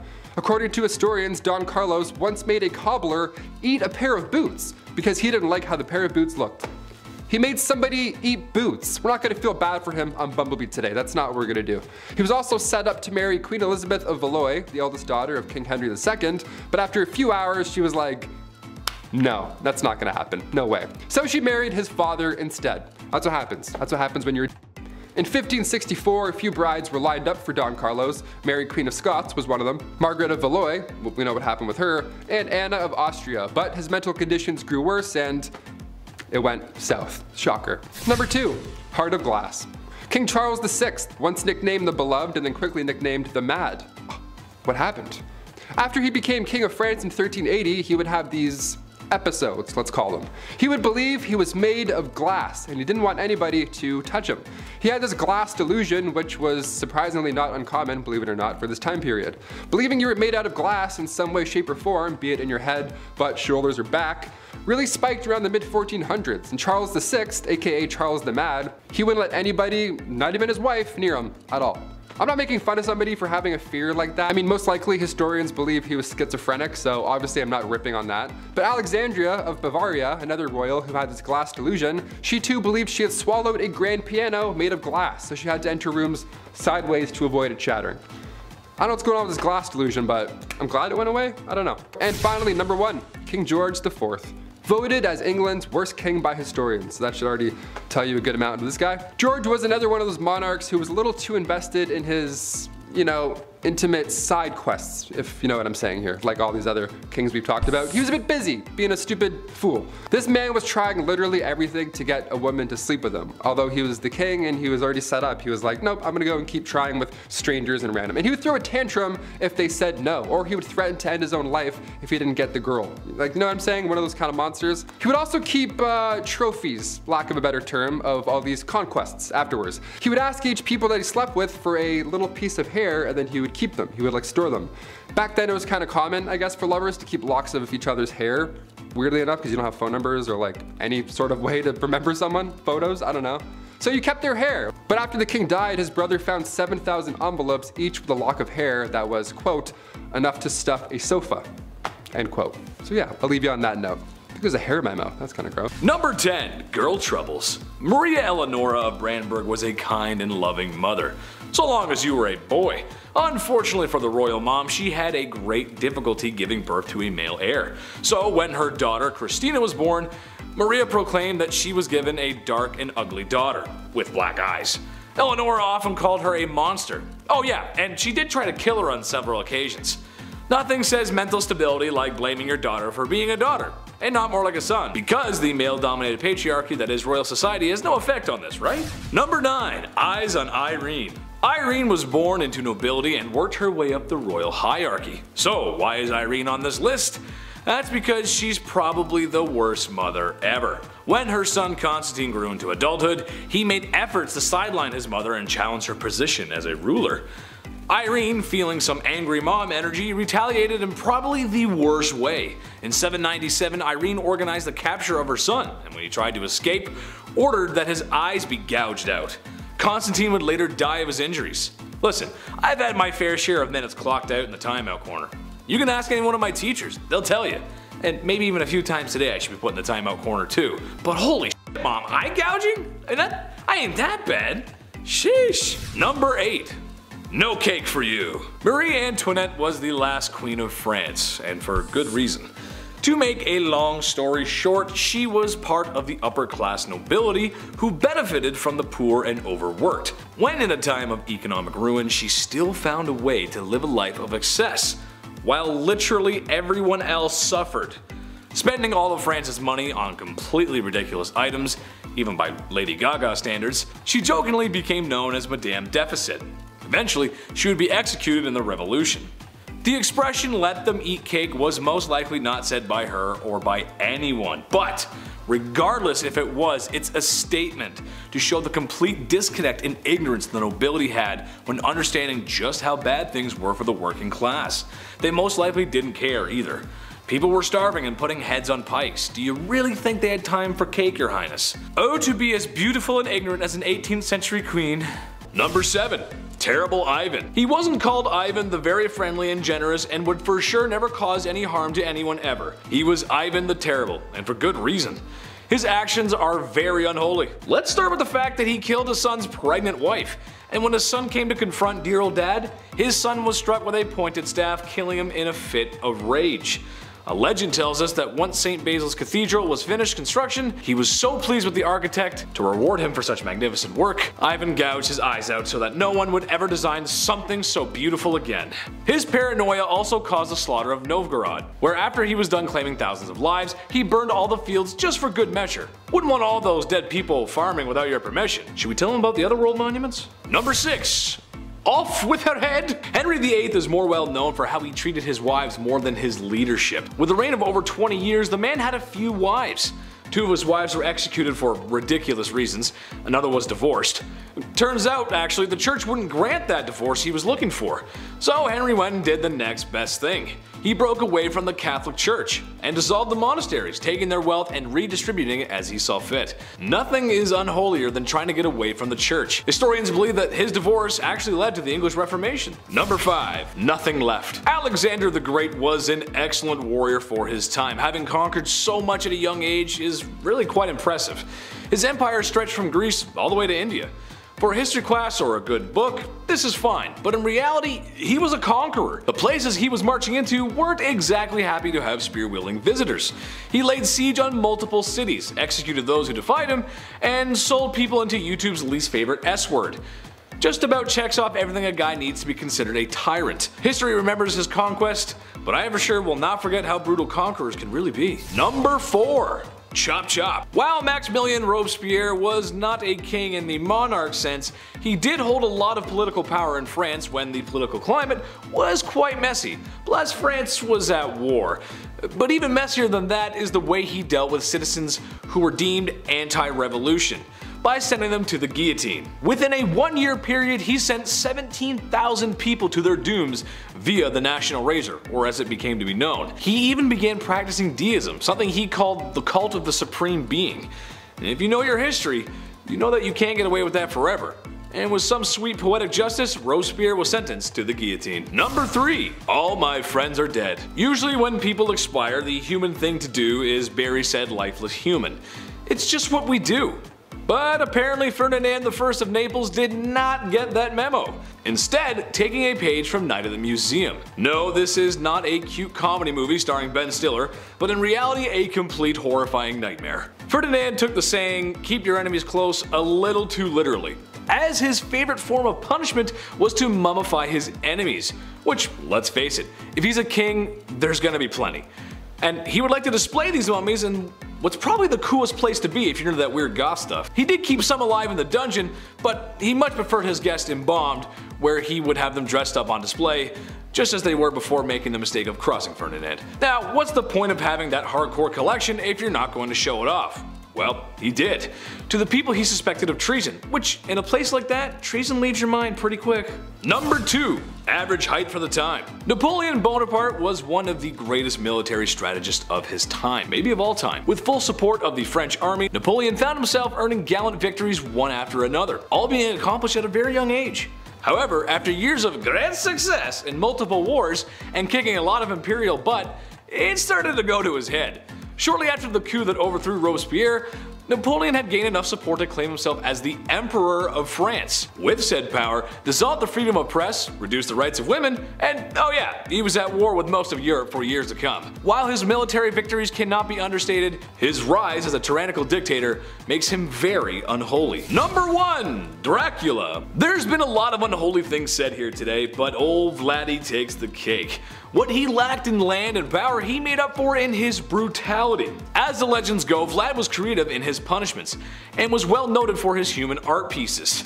And by art, I mean impaling his enemy on pikes. sometimes through their rear ends, and leaving them as warnings for anyone who dared cross him. Similar to the time visiting envoys wouldn't remove their hats as it is to do in tradition, so Vlad had their hats nailed to their skulls, so that they may never remove them. There are a few other stories that are just too hot for YouTube, but I think he's a textbook example of unholy. He may also be the inspiration for Dracula. Imagine being that much of a monster one is created in your likeness. I mean just looking at the painting of this guy creeps me out man, whoa. Number 10, Elizabeth I.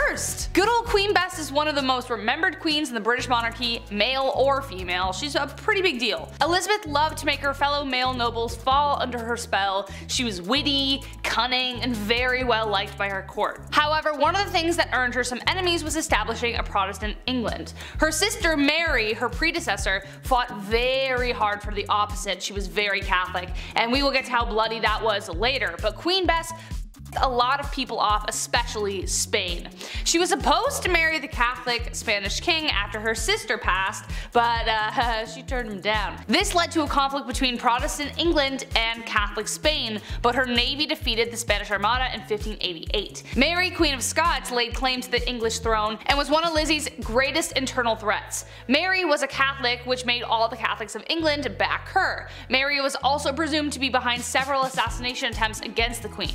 Finally, Finally, Queen Elizabeth had to take action and after keeping her cousin hostage for 20 years, she finally had to have her executed. We'll talk more about her later. Number 9. Catherine the Great. So Catherine the Great was called the Great for a reason. She was a pretty epic woman by most accounts. She even had one of the first vaccines, which is pretty crazy. Though she wasn't actually born in Russia or even Russian at all, Catherine was not content to go down in history quietly. She considered herself an enlightened ruler, and history tends to agree, with aims of prioritizing education for the the people. She had many lovers and there is enough evidence to suggest that the son she had was illegitimate.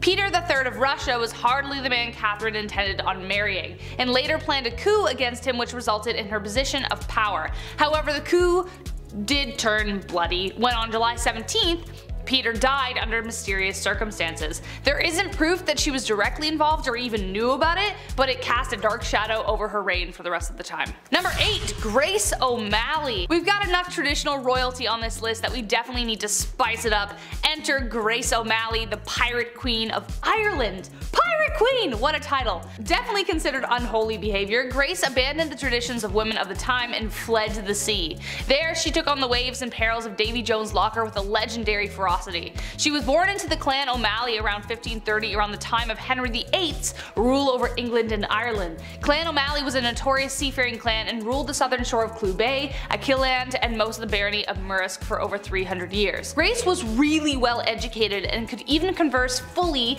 in Latin, Spanish, Scottish, Gaelic, and French. She was not one to be refused and after spending years fighting the British, she finally met Queen Bess, and not only did she speak Latin to her, but she refused refused to bow as she was considered a queen herself by that point. Number 7. Lover's Touch. Some couples flourish, others fizzle out. Some keep their privacy and others like to make out in the hallways, right in front of everyone. Yeah, you know the ones. It's always by a classroom you have to walk by, or it's by your locker. Joanna of Castile leans more towards awkward locker makeouts. It's speculated that she may have had some form of mental illness. After her mother fell ill, she was reported not to be eating or sleeping, which doesn't sound that bad actually.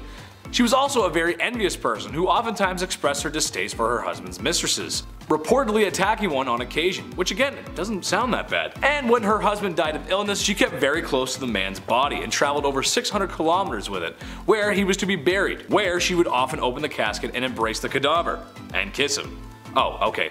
That's where the unholiness is. Gotcha. I know medical knowledge wasn't great, but if your husband died of an illness, you couldn't seriously think that kissing him was a good idea. This is like the third royal I've come across that has a fixation on corpses. Sometimes you just gotta let the dead be dead, man. Number 6. Who are you gonna call? Queen Maria I of Portugal might have actually been insane. And no, not like come on down to my local car dealership, these prices are insane. More like the Joker on a magic white powder that shan't be named just in case. I don't want to make YouTube big Angie. She was known for ranting and raving, screaming that she had been damned. Perhaps it was phantoms of the night demonizing the poor soul.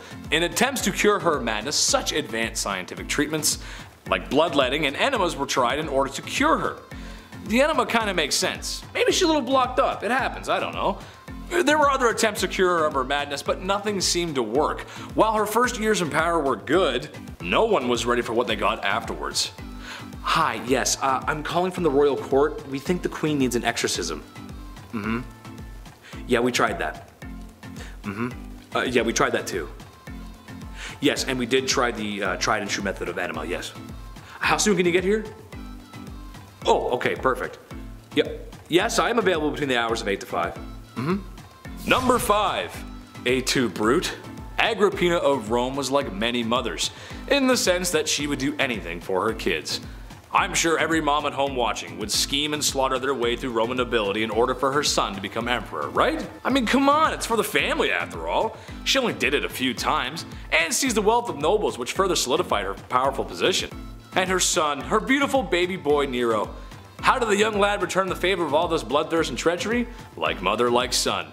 Chose to fatally remove her of her power. What a nice family story right there. My mom usually just makes turkey with the stuffing, but maybe I can ask for the Roman throne this Christmas. Mom!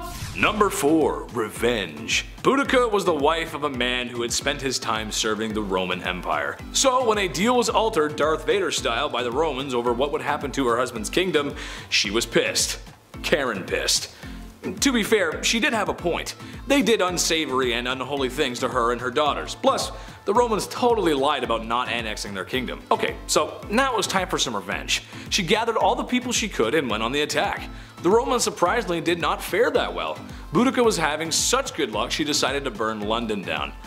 Of course, no civilians were harmed in the process. I'm just kidding, a lot of people probably didn't do too well as humans can't live in fire. Sure, she was owed some revenge, but burning down a whole city? That's a lot. The Romans did eventually catch up, and she was forced to drink poison in order to avoid capture. She is remembered as somewhat of a hero to some. Number 3. Girl power. Tamar of Georgia was a woman who didn't take kindly to men questioning the rule of a woman. As you would wind up dead. She is no... She is noted for having a hand in the golden age of Georgia. Funny enough, she was made a saint, even though she vanquished all the Orthodox clergymen at the time for also questioning her rule. Her husband aided in conquering more land, but when he couldn't keep it in his pants, she banished him and remarried. You go girl, you commit acts of unholiness and stand up for yourself. Number 2. Serial killer? Daria Saltykova was not necessarily a queen, but she was Russian nobility. She had strong connections with the royal court and other Russian nobility. She was also very unholy. Now, maybe you can blame it on her being widowed. Maybe she's just crazy. But her actions were sadistic. She's noted for having severely tormented her serfs and would straight up just kill them with numbers reaching at least 138. At first, complaints about family members disappearing after working for her royal nightmare were ignored. She was just too powerful and connected. Eventually, a petition was put together and shown to Catherine the Great, where it was decided Daria would be tried publicly. She spent one hour in a public space in Moscow where people scorned her for her crimes. She was then sentenced to prison where the rest of her days were spent. She is also at times compared to Elizabeth Bathory who committed similar non-nightmare inducing crimes. Just kidding, they were an absolute nightmare. Number 1. Her Royalness Queen Elizabeth II. Queen Elizabeth II may be the modern Queen of England, but that does not make her free of controversy and unholiness. If you are to believe in conspiracy theories, then perhaps old Blighty had a hand in a few things that to a normal person would be considered immoral. The death of Princess Diana immediately comes to mind, as there is some evidence to suggest the family is behind it, and her being the queen and all, it's easy to make the connection. But perhaps the most unholy crime ever committed, apparently the queen likes her sandwiches with the crust cut off. Imagine all the extra time needed to trim the crust off every sandwich. I want to talk to HR just thinking about all the extra work. But maybe you can cut the crust off of mine? Um, don't tell anyone though. Okay, thanks. At number 10, the king of hobbies. Everyone has their interests, right? Like for example, I like video games, and I like watching people scream at their teammates for not helping everyone else out. I'm looking at you, Blake. For kings back in the day, they didn't have people on Rocket League to scream at, so they had to find other interests. For Tsar Peter the Great, he had a lot of interests, and they were all very bizarre. Firstly, he had an obsession with short people, especially dwarves. To him, they were like his real life dolls or something, and he would hold weddings for them and even hold lavish funerals complete with small horses pulling a small coffin on a carriage, and even a very short priest to hold the ceremony. But other than this obsession with short people, he also dabbled a bit in medicine. He liked watching surgeries be performed like he was trying to be on Grey's Anatomy or something, but when watching the surgeries just wasn't enough for him, he would sometimes perform them himself. Now remember, He's not a doctor, so it's no surprise to learn that these surgeries rarely ever went well and people died. I certainly wouldn't trust him to give me any kind of surgery,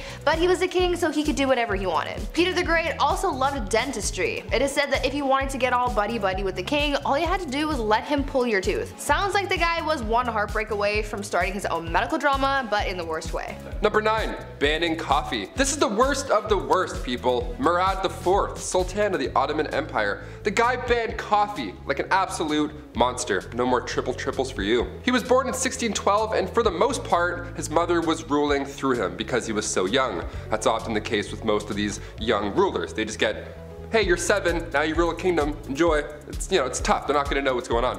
But when he got a little bit older, he put forth these laws, punishable by death might I add. In order to get things back on track, that was the key. He banned coffee, tobacco, and alcohol. He would actually disguise himself as a civilian during the nighttime and would wander around aimlessly in hopes that he would find one of these dark roast renegades. If you were caught outside having a quick smoke break, you weren't arrested, you didn't get fined, but rather, Murad IV himself would take your head off right there in the streets. No trial, no jury, just straight to execution.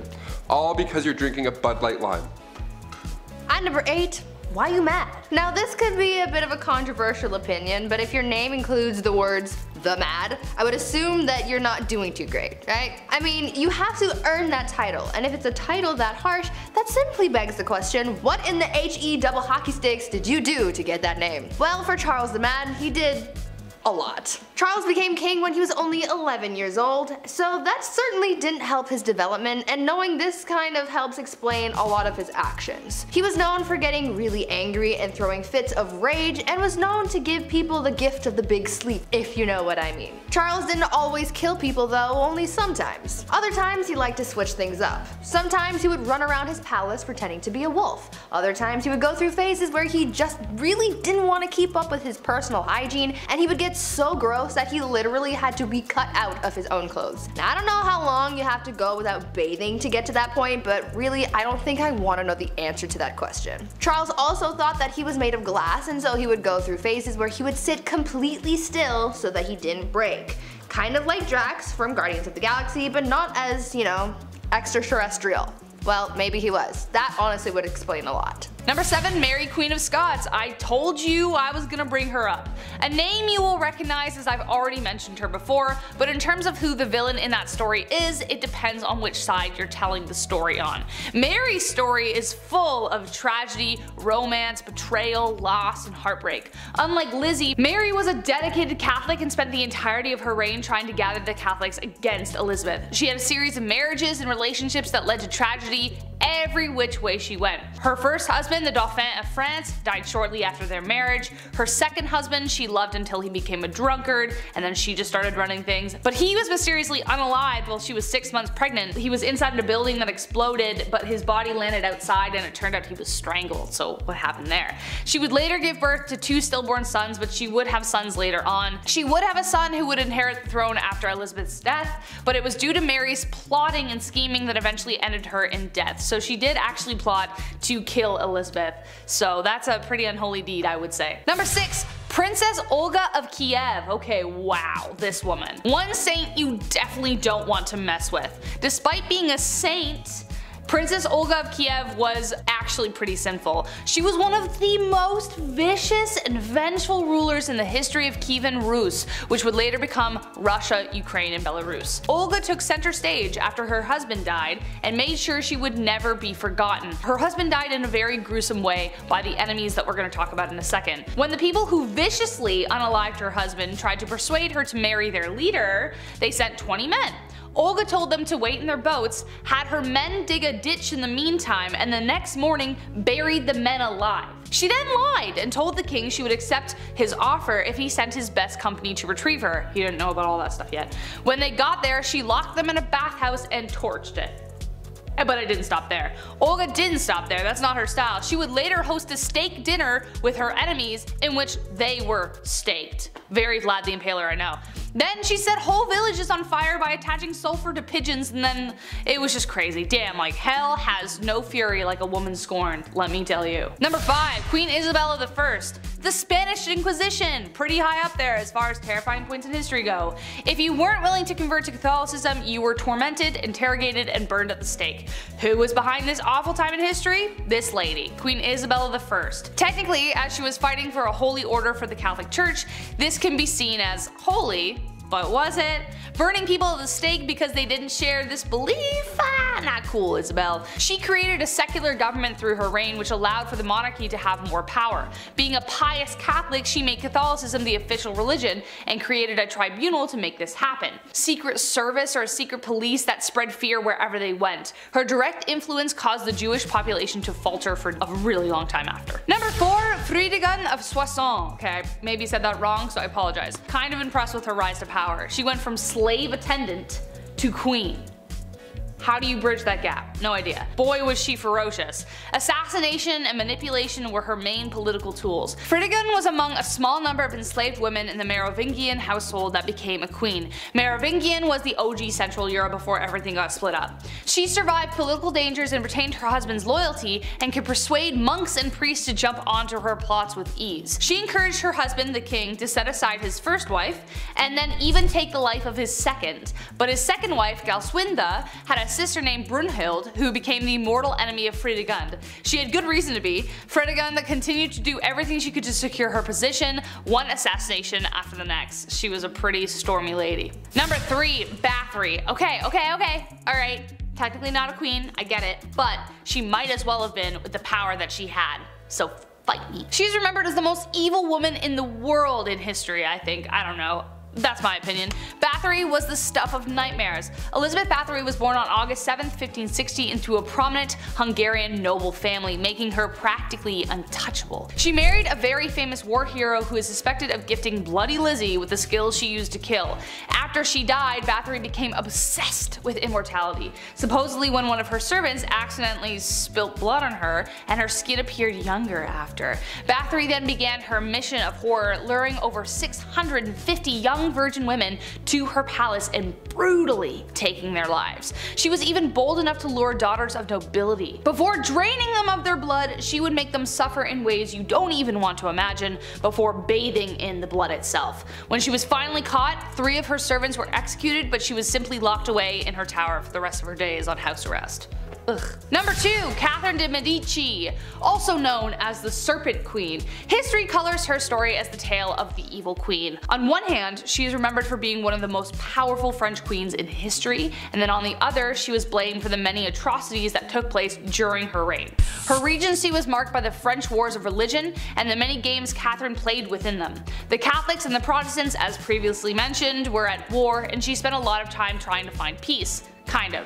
But she was a passionate Catholic and is believed to have tried to remove a Protestant general from her son's side. When he survived the attack, she lied and convinced her son that the Protestants were responsible so she scapegoated them. So he authorized taking the lives of their leaders. Enter St. Bartholomew's Massacre. Catherine implicated the general which resulted in him being the first to be beaten and then tossed out of his own bedroom window. An estimated 3,000 French Protestants were taken out in Paris, but the total countrywide was around 70,000.